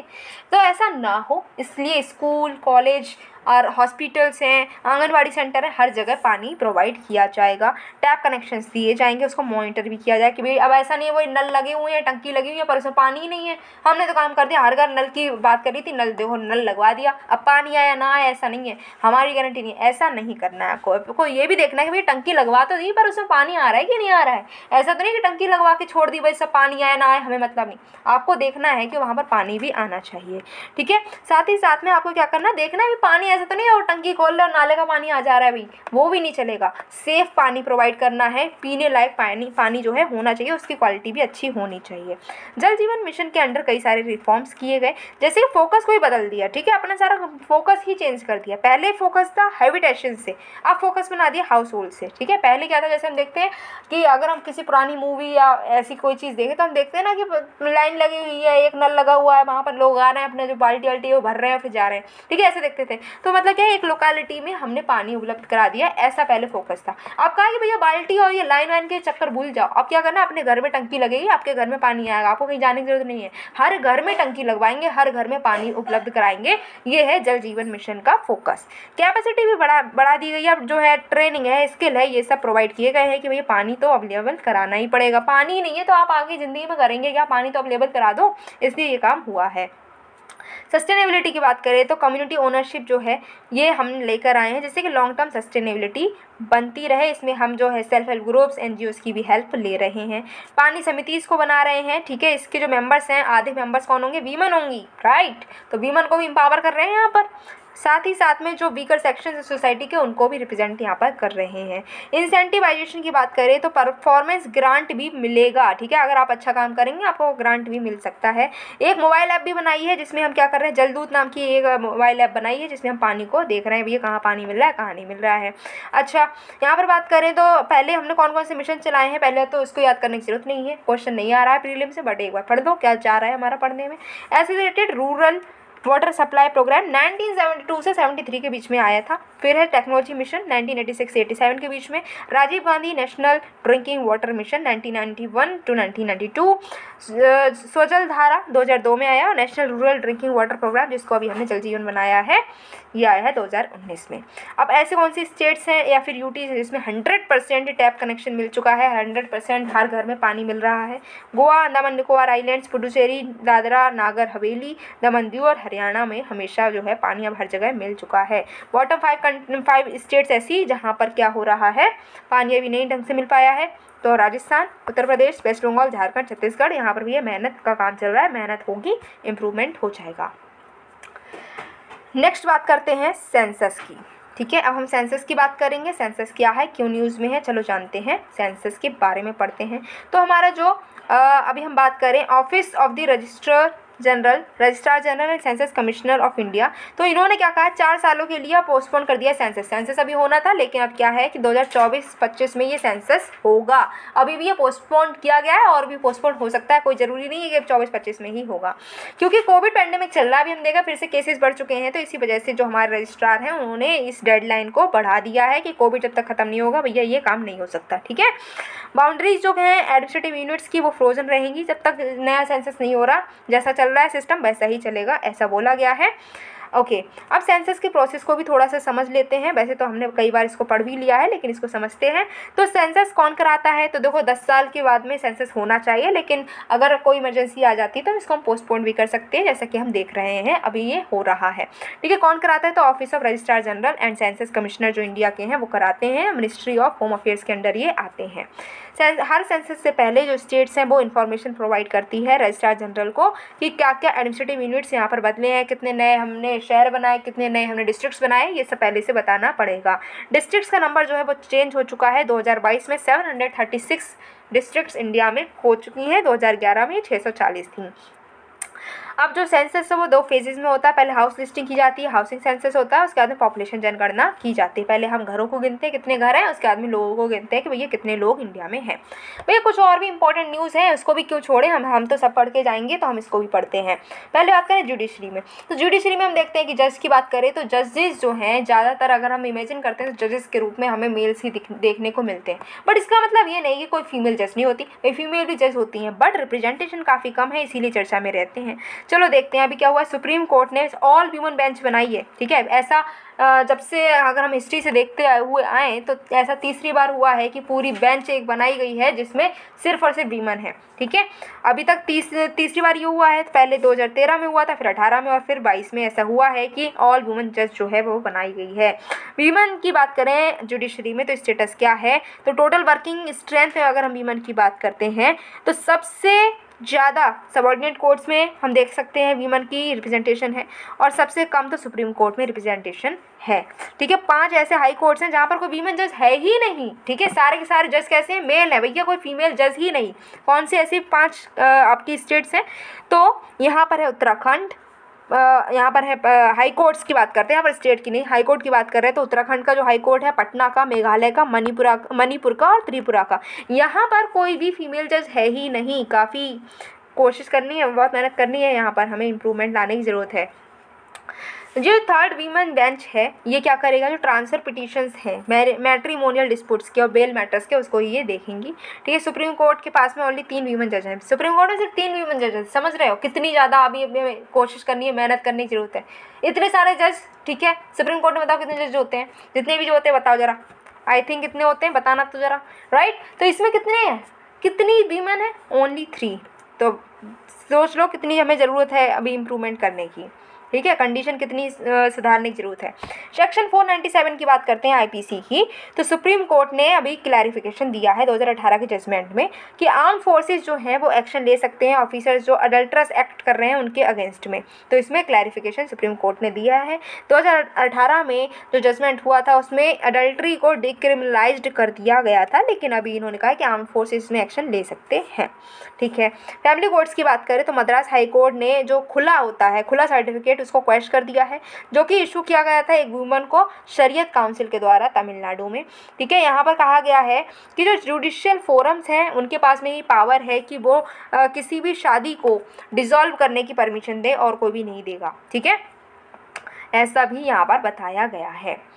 बात करते हैं ग्रामीण उद्यमी प्रोग्राम की। तो मिनिस्ट्री ऑफ़ स्किल डेवलपमेंट और एंटरप्रेन्योरशिप की जो ये मिनिस्ट्री है, इन्होंने 200 सौ जो ट्राइबल वीमेन हैं, उनको फैसिलिटी प्रोवाइड की है किसके अंडर? ग्रामीण उद्यमी प्रोग्राम के अंडर। इस प्रोग्राम के अंडर जो है स्किल्स प्रोवाइड की जाएँगी एंटरप्रेन्योरशिप की भावना और जो भी स्प्रिट स्प्रिट है, वो सब प्रोवाइड की जाएगी ट्राइबल कम्युनिटीज़ को, जिससे कि वो एंटरप्रेन्योरशिप कर सकें। उनके अंदर स्किल है, वो अपनी स्किल का यूज़ करें और अमीर बनेंगी। साथ ही साथ में दुनिया भर के अपनी जो फाइनेंशियली जो वीक हैं, जिसकी वजह से उनकी जो लिविंग स्टैंडर्ड है, वो बहुत पुअर है, उसको वो सुधारेंगी, साथ ही साथ में हमारी कंट्री के लिए भी कंट्रीब्यूशन वो कर पाएँगी।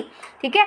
Children identity and right to privacy की अगर हम बात करें तो सुप्रीम कोर्ट ने कहा है कि चिल्ड्रन का ये हक नहीं है कि वो लेजिटिमेसी क्वेश्चंस जो है प्राइवेसी राइट के लिए वो इसमें उनके राइट ये नहीं आता, ठीक है? लेजिटिमेसी क्वेश्चन जो करी गई है कि वो बच्चा जो है वो लेजिटिमेट है या नहीं है जायज़ है कि नाजायज़ है, ऐसे क्वेश्चन जो हैं, उनके प्राइवेसी राइट्स में नहीं आते हैं। ऐसा यहाँ पर बताया गया है कि जो जेनेटिक इन्फॉर्मेशन है वो बहुत ही पर्सनल होती है इंटीमेट होती है, आप डीएनए टेस्ट करवा सकते हैं।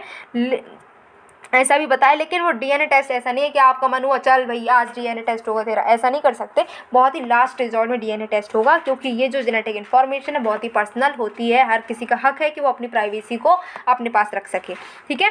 फिर draft guidelines on assessing if the minors can be tried as तो अभी गाइडलाइंस लाई गई हैं कि कोई भी ऐसा क्राइम कर दे जो बहुत ही ज़्यादा हीनियस बहुत ही ज़्यादा शर्मनाक क्राइम करा है लेकिन वो क्राइम करा है किसी पर बच्चे ने जो अभी अडल्ट नहीं है बट उसने क्राइम तो ऐसा कर दिया है कि जो अडल्ट भी नहीं कर सकें राइट तो ऐसे ऐसे बच्चों को हम क्या करेंगे? क्या हम उनको अडल्ट की तरह परमिशन पनिशमेंट दे पाएँगे या नहीं? इसके लिए गाइडलाइंस लेकर आए हैं अभी national commission for protection of child rights ठीक है? इन्होंने कुछ डायरेक्शंस दिए हैं कि, कौन से केसेस में हम चिल्ड्रन को अडल्ट मानेंगे और उनको पनिश कर सकते हैं, अगर उन्होंने कोई हीनियस क्राइम किया है तो। नेक्स्ट है world social report 2023 leaving no one behind in an ageing world इसको पब्लिश किसने किया है? यू डेसा ने इसको पब्लिश किया है। ये रिपोर्ट जो है एक फ्रेमवर्क बनाती है, जो फ्रेमवर्क है Madrid international plan of action on ageing इसी के ऊपर ये रिपोर्ट बनी है। यहाँ पर बताया गया कि जो पर्सन पैंसठ साल या फिर उससे ज़्यादा बड़े हैं तो वो अगले आने वाले तीस सालों में डबल हो जाएँगे। मतलब अगर पचास लोग ऐसे हैं अभी जो पैंसठ साल से ज़्यादा के हैं तो आने वाले दस साल तीस तीस सालों में ये कितने हो जाएँगे भाई? सौ हो जाएँगे। ठीक है, सबसे ज़्यादा कहाँ पर होंगे? सबसे ज़्यादा नॉर्थ नदर्न अफ्रीका में, वेस्टर्न एशिया में, सब सहारन अफ्रीका में ये जो है फास्टेस्ट ग्रोथ होगी। ओके रेड होल माइनिंग क्या होता है? तो अभी हाई कोर्ट ने अभी एक कमेटी अपॉइंट की है, जिन्होंने बताया कि जो मेघालय है, ठीक है, मेघालय में बहुत ज़्यादा रेड होल माइनिंग होती है। रेड होल माइनिंग का ये मतलब नहीं है कि जो वो चूहे जो है अपना वो बना लेते हैं और अपने घर बना लेते हैं, वहाँ पर चूहे घुस जाते हैं, उसकी माइनिंग करें नहीं नहीं, यह वो वाला नहीं है। रेड होल माइनिंग का मतलब क्या है कि हम क्या करें, किसी कोल का, कोल को निकाल रहे हैं, लेकिन हम बहुत ही नैरो टनल से बना रहे हैं। मतलब वो उनमें क्या होता है कि कोई बड़ा घुस भी नहीं सकता, इतनी टनल इतनी छोटी सी टनल बनाते काफ़ी गहरी और उनमें हम बच्चों को घुसेड़ते हैं और बच्चे उसमें घुस घुस कर क्या कर रहे हैं? कोल को माइन कर रहे हैं और इसी वजह से कई सारे बच्चों की डेथ हो जाती है। कभी होता है कि वो टनल जो है वो कोलैप्स हो गई, कभी कुछ हो जाता है। इस वजह से क्या होता है कि ये जो है बच्चे, उनकी डेथ हो जाती है और ये ज़्यादातर मेघालय में होता है। और बच्चे जो है, हम उनकी डेथ क्यों करवाएँ, राइट? उनकी, उनको राइट टू लाइफ है, इसीलिए यहाँ पर कोर्ट जो है बार बार इसको मना करती है कि ये रेड होल माइनिंग नहीं करना चाहिए। इसके लिए कई सारे बैन भी लगाए गए हैं। ठीक है? मैनुअल स्कैवेंजिंग को हम ऑलरेडी बहुत अच्छे से पहले सोशल इश्यूज़ में पढ़ चुके P T three sixty five में, लेकिन यहाँ पर न्यूज़ में तो इसको भी हम पढ़ते हैं। केरला पहली ऐसी स्टेट बन चुकी है कंट्री में, जो कि रोबोटिक टेक्नोलॉजी का यूज़ कर भैया कह रही मैनुअल स्कैवेंजिंग करनी है, वो नहीं करेंगे हम, ठीक है? किसी इंसान के, हर किसी के पास में राइट टू लाइफ है और डिग्निटी से जीने का हक है तो हम क्यों किसी से ये ह्यूमन जो फिकल विकल है, इसको हम साफ़ करवाएँ? नहीं करवाएँगे, हम इसका यूज़ करेंगे रोबोट से, ठीक है? रोबोट इसको साफ़ करेंगे। तो हमारे जो मैनहोल्स हैं, उसमें आपको जो है, कौन साफ़ करेगा? ये जो गंदगी है ह्यूमन फीकल है, ये सब जो गटर अटर की सफ़ाई है सीवेज की सफ़ाई ये कौन करेगा? केरला में रोबोट्स करेंगे। रोबोटिक स्कैवेंजर का नाम है बंडीकूट ठीक है? ये बंडीकूट जो है, ये जैसे कि एक पर्सन जो है, वो सफ़ाई करता, उस सीवेज की, उस गटर की, वैसे ही ये रोबोट सफ़ाई करेगा। तो बंडीकूट को याद रखना है, ये वाटर प्रूफ है। एच डी विजन कैमराज इसमें लगे हैं सेंसर्स भी सेंसर्स भी लगे हैं, जो कि हार्मफुल गैसेस को भी ट्रैक करते रहेंगे। नेक्स्ट बात करें लोकोर कमीशन की नाइनटीन में ये कमीशन आई है। तो एक्सपर्ट्स ने कहा है कि जो ऑफिसर और रजिस्ट्रार जनरल हैं इंडिया के, उनको ऑब्सोलीट वो ऑब्सोलीट क्राइटेरिया को फॉलो कर रहे हैं, जो कि लोकर कमेटी ने बताया था कि कोई नई कमेटी है, उसको कम्युनिटी को एसटी बनाना है, सुप्री जो हमें एसटी बनाना है, ठीक है शेड्यूल ट्राइब बनाना है तो अब शेड्यूल ट्राइब बनाने के लिए नए क्राइटेरिया का यूज़ करना चाहिए। लोकोर कमेटी ने जो क्राइटेरिया बताया, वो बहुत ओल्ड हो गया है, ऐसा इसमें कहा गया। ठीक है लोकोर जो लोकोर कमेटी है, इसने क्या क्राइटेरिया बताया? इसने कहा कि प्रिमेटिव ट्रेड्स होने चाहिए अलग से कल्चर होना चाहिए जोग्राफिकल आइसोलेशन होना चाहिए कॉन्टैक्ट जो है दूसरी कम्युनिटीज़ के साथ में, वो, उसमें वो झिझक होनी चाहिए उनके अंदर बैकवर्डनेस होना चाहिए। लेकिन अब कहा गया, अरे भैया, ये सब बहुत पुराना हो गया है। अभी जब ज़माना बदल गया, आपको भी बदलने की ज़रूरत है। नया क्राइटेरिया सुनो। नया क्राइटेरिया क्या है कि सोशो इकोनॉमिक एजुकेशनल बैकवर्ड होनी चाहिए। हिस्टोरिकल जोग्राफिकल आइसोलेशन होना चाहिए। ये नया क्राइटेरिया है। फिर जादुई पिटारा। जादुई पिटारा क्या है? जादुई पिटारा एक लर्निंग टेक्निकल मटीरियल है, ठीक है? ये play based learning teaching material है, जो चिल्ड्रन जिनकी एज तीन से आठ साल की है, उनके लिए बनाया गया है। इसको नेशनल करिकुलम फ्रेमवर्क ने बनाया है। तेरह इंडियन लैंग्वेजेस में ये अवेलेबल है। इसे प्ले बुक्स हैं टॉयज़ हैं पजल हैं पोस्टर्स हैं फ्लैश कार्ड्स भी हैं। अब बात करते हैं परख की। परख काफ़ी इंपॉर्टेंट है, इसको पढ़ना ज़रूरी है। तो अभी क्या है? परख जो है परख को, अभी परख को बनाने के लिए बिड जो थी एक सौ अस्सी कंट्रीज़ में, उसमें ये जीत गई है। हमारी जो एजुकेशनल टेस्टिंग सर्विस है, वो जीत गई, ठीक है? परख जो है ये नेशनल एजुकेशन पॉलिसी 2020 का ही एक पार्ट है, जिसमें इसको हमने लॉन्च किया कि किस तरीके से न्यू न्यू जो हमारी पॉलिसी है, इसको एजुकेशन पॉलिसी को इम्प्लीमेंट कर पाएँगे। ये जो है नॉर्म्स बनाएगा स्टैंडर्ड्स बनाएगा गाइडलाइंस बनाएगा, कैसे जो है स्टूडेंट्स को हम असेस करेंगे इवेलुएट करेंगे, ये सब काम परख में होगा, ठीक है? कैसे कैसे असेसमेंट्स होंगे? तो लार्ज स्केल असेसमेंट होगा स्कूल बेस्ड होगा और एग्जामिनेशन फॉर्म में भी हम उनको असेस करेंगे। नेक्स्ट बात करते हैं school health and wellness programme की। तो लगभग तीन सालों के बाद में इसको इम्प्लीमेंट कर रहे हुए तीन साल हो चुके हैं। उसके बाद में इसमें क्या हुआ? पचास परसेंट ही अपटेक हो पाया है। तो अभी हम देखें तो अभी ज़्यादा कुछ इंप्रूवमेंट देखने को मिला नहीं है। इसको आयुष्मान भारत प्रोग्राम के अंडर हम लेकर आए थे। इम्प्लीमेंट किया गया सरकारी स्कूलों में या फिर ऐसे स्कूल जिनको सरकार हेल्प कर रही है। ठीक है? हायर एजुकेशन फाइनेंसिंग एजेंसी हेफाज इसकी बात करें तो यहाँ पर गवर्नमेंट इसके जो टारगेट्स हैं कि हमें एक लाख करोड़ जो है वो मोबिलाइज़ करना है 2022 तक, इसमें ये जो है पूरा नहीं हो पाया है वादा। ठीक है, हेफा की बात करें तो हेफा 2017 में लेकर हम आए थे जॉइंट वेंचर है मिनिस्ट्री ऑफ़ एजुकेशन और कैनरा बैंक का। ठीक है ग्लोबली जो टॉप रैंकिंग इंस्टीट्यूशंस हैं, उनकी ये रैंकिंग प्रोवाइड करना चाहते थे। नेक्स्ट है national assessment and accreditation council, इन्होंने नया बेंचमार्क जो है वो रिलीज़ किया है। ठीक है? ये जो बेंचमार्क है, ये इसके सीक्रेट लेजर जो है, जिसमें मैक्सिमम स्कोर्स दिए जाएँगे, अवार्ड्स दिए जाएँगे, उसके लिए बनाया गया है। ये बैरोमीटर की तरह काम करेगा। कौन से इंस्टीट्यूशन में कितना क्या काम हो रहा है, ये सब मेज़र करेगा। ये जो है, नाइनटीन में बनाया गया था, इसका हेडक्वार्टर बेंगलुरु में है यूजीसी के अंडर ये आता है। ये क्या करता है कि जो आपके हायर एजुकेशन है, उसको डिफाइन करता है, उसको देखता है कैसे क्या चल रहा है काम और काम को मॉनिटर करता है ग्रेडिंग व्रेडिंग भी करता है, साथ ही साथ उसको एसेस भी करता है सर्टिफाई भी करता है।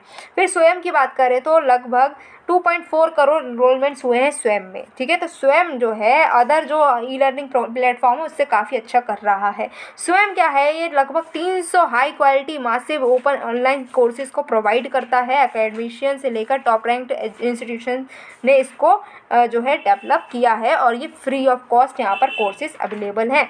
ये एक लर्निंग सिस्टम है, जो कि फॉर्मलाइज टीचिंग पर बेस्ड है, लेकिन यहाँ पर इलेक्ट्रॉनिक रिसोर्सेज की हेल्प की जाएगी। ई लर्निंग में स्वयं का काफ़ी बड़ा नाम है।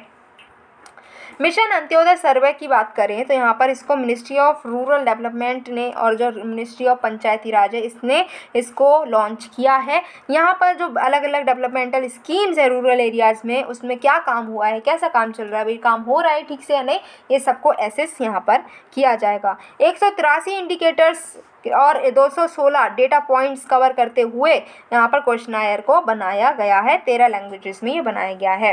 प्रज्वला चैलेंज की अगर हम बात करें तो इसको लॉन्च किया है मिनिस्ट्री ऑफ़ रूरल डेवलपमेंट ने। Deendayal Antyodaya Yojana national rural livelihood mission के अंडर इसको लॉन्च किया गया है। इसका एम है कि हम आइडिया सोल्यूशन एक्शंस को इन्वाइट कर रहे हैं, जो कि रूरल इकोनॉमी को ट्रांस फॉर्म कर सके। हम यहाँ पर जो रूरल हाउस होल्ड है, उनको सेल्फ हेल्प ग्रुप्स बनाना चाहते हैं उनकी जो लिविंग स्टाइल है, इसको इम्प्रूवमेंट करना चाहते हैं। इसी के साथ में हमारी जो दुनियादारी है, जो सोशल इशूज़ हैं, उसको हमने पढ़ा है और अब हमें बहुत ही ज़्यादा कॉन्फिडेंस फील होता ही होगा क्योंकि हमने P T three sixty five social issues की कंप्लीट की, हमने अपडेटेड मटेरियल को भी पढ़ लिया है। अब तो कोई भी क्वेश्चन आए, हम उसको टैकल कर ही लेंगे। अगर ऐसा सॉलिड कॉन्फिडेंस आपको अगर आया है तो आपको करना क्या है? आपको वीडियो को लाइक करना है शेयर करना है चैनल को सब्सक्राइब करना है जिससे कि आने वाली वीडियो की नोटिफिकेशन आपके पास में आए और आप चैनल को देखकर, वीडियो को देखकर खुद को और अपडेट बना पाएँ और अपने प्रीलियम्स में बहुत ही अच्छा परफॉर्म कर पाएँ।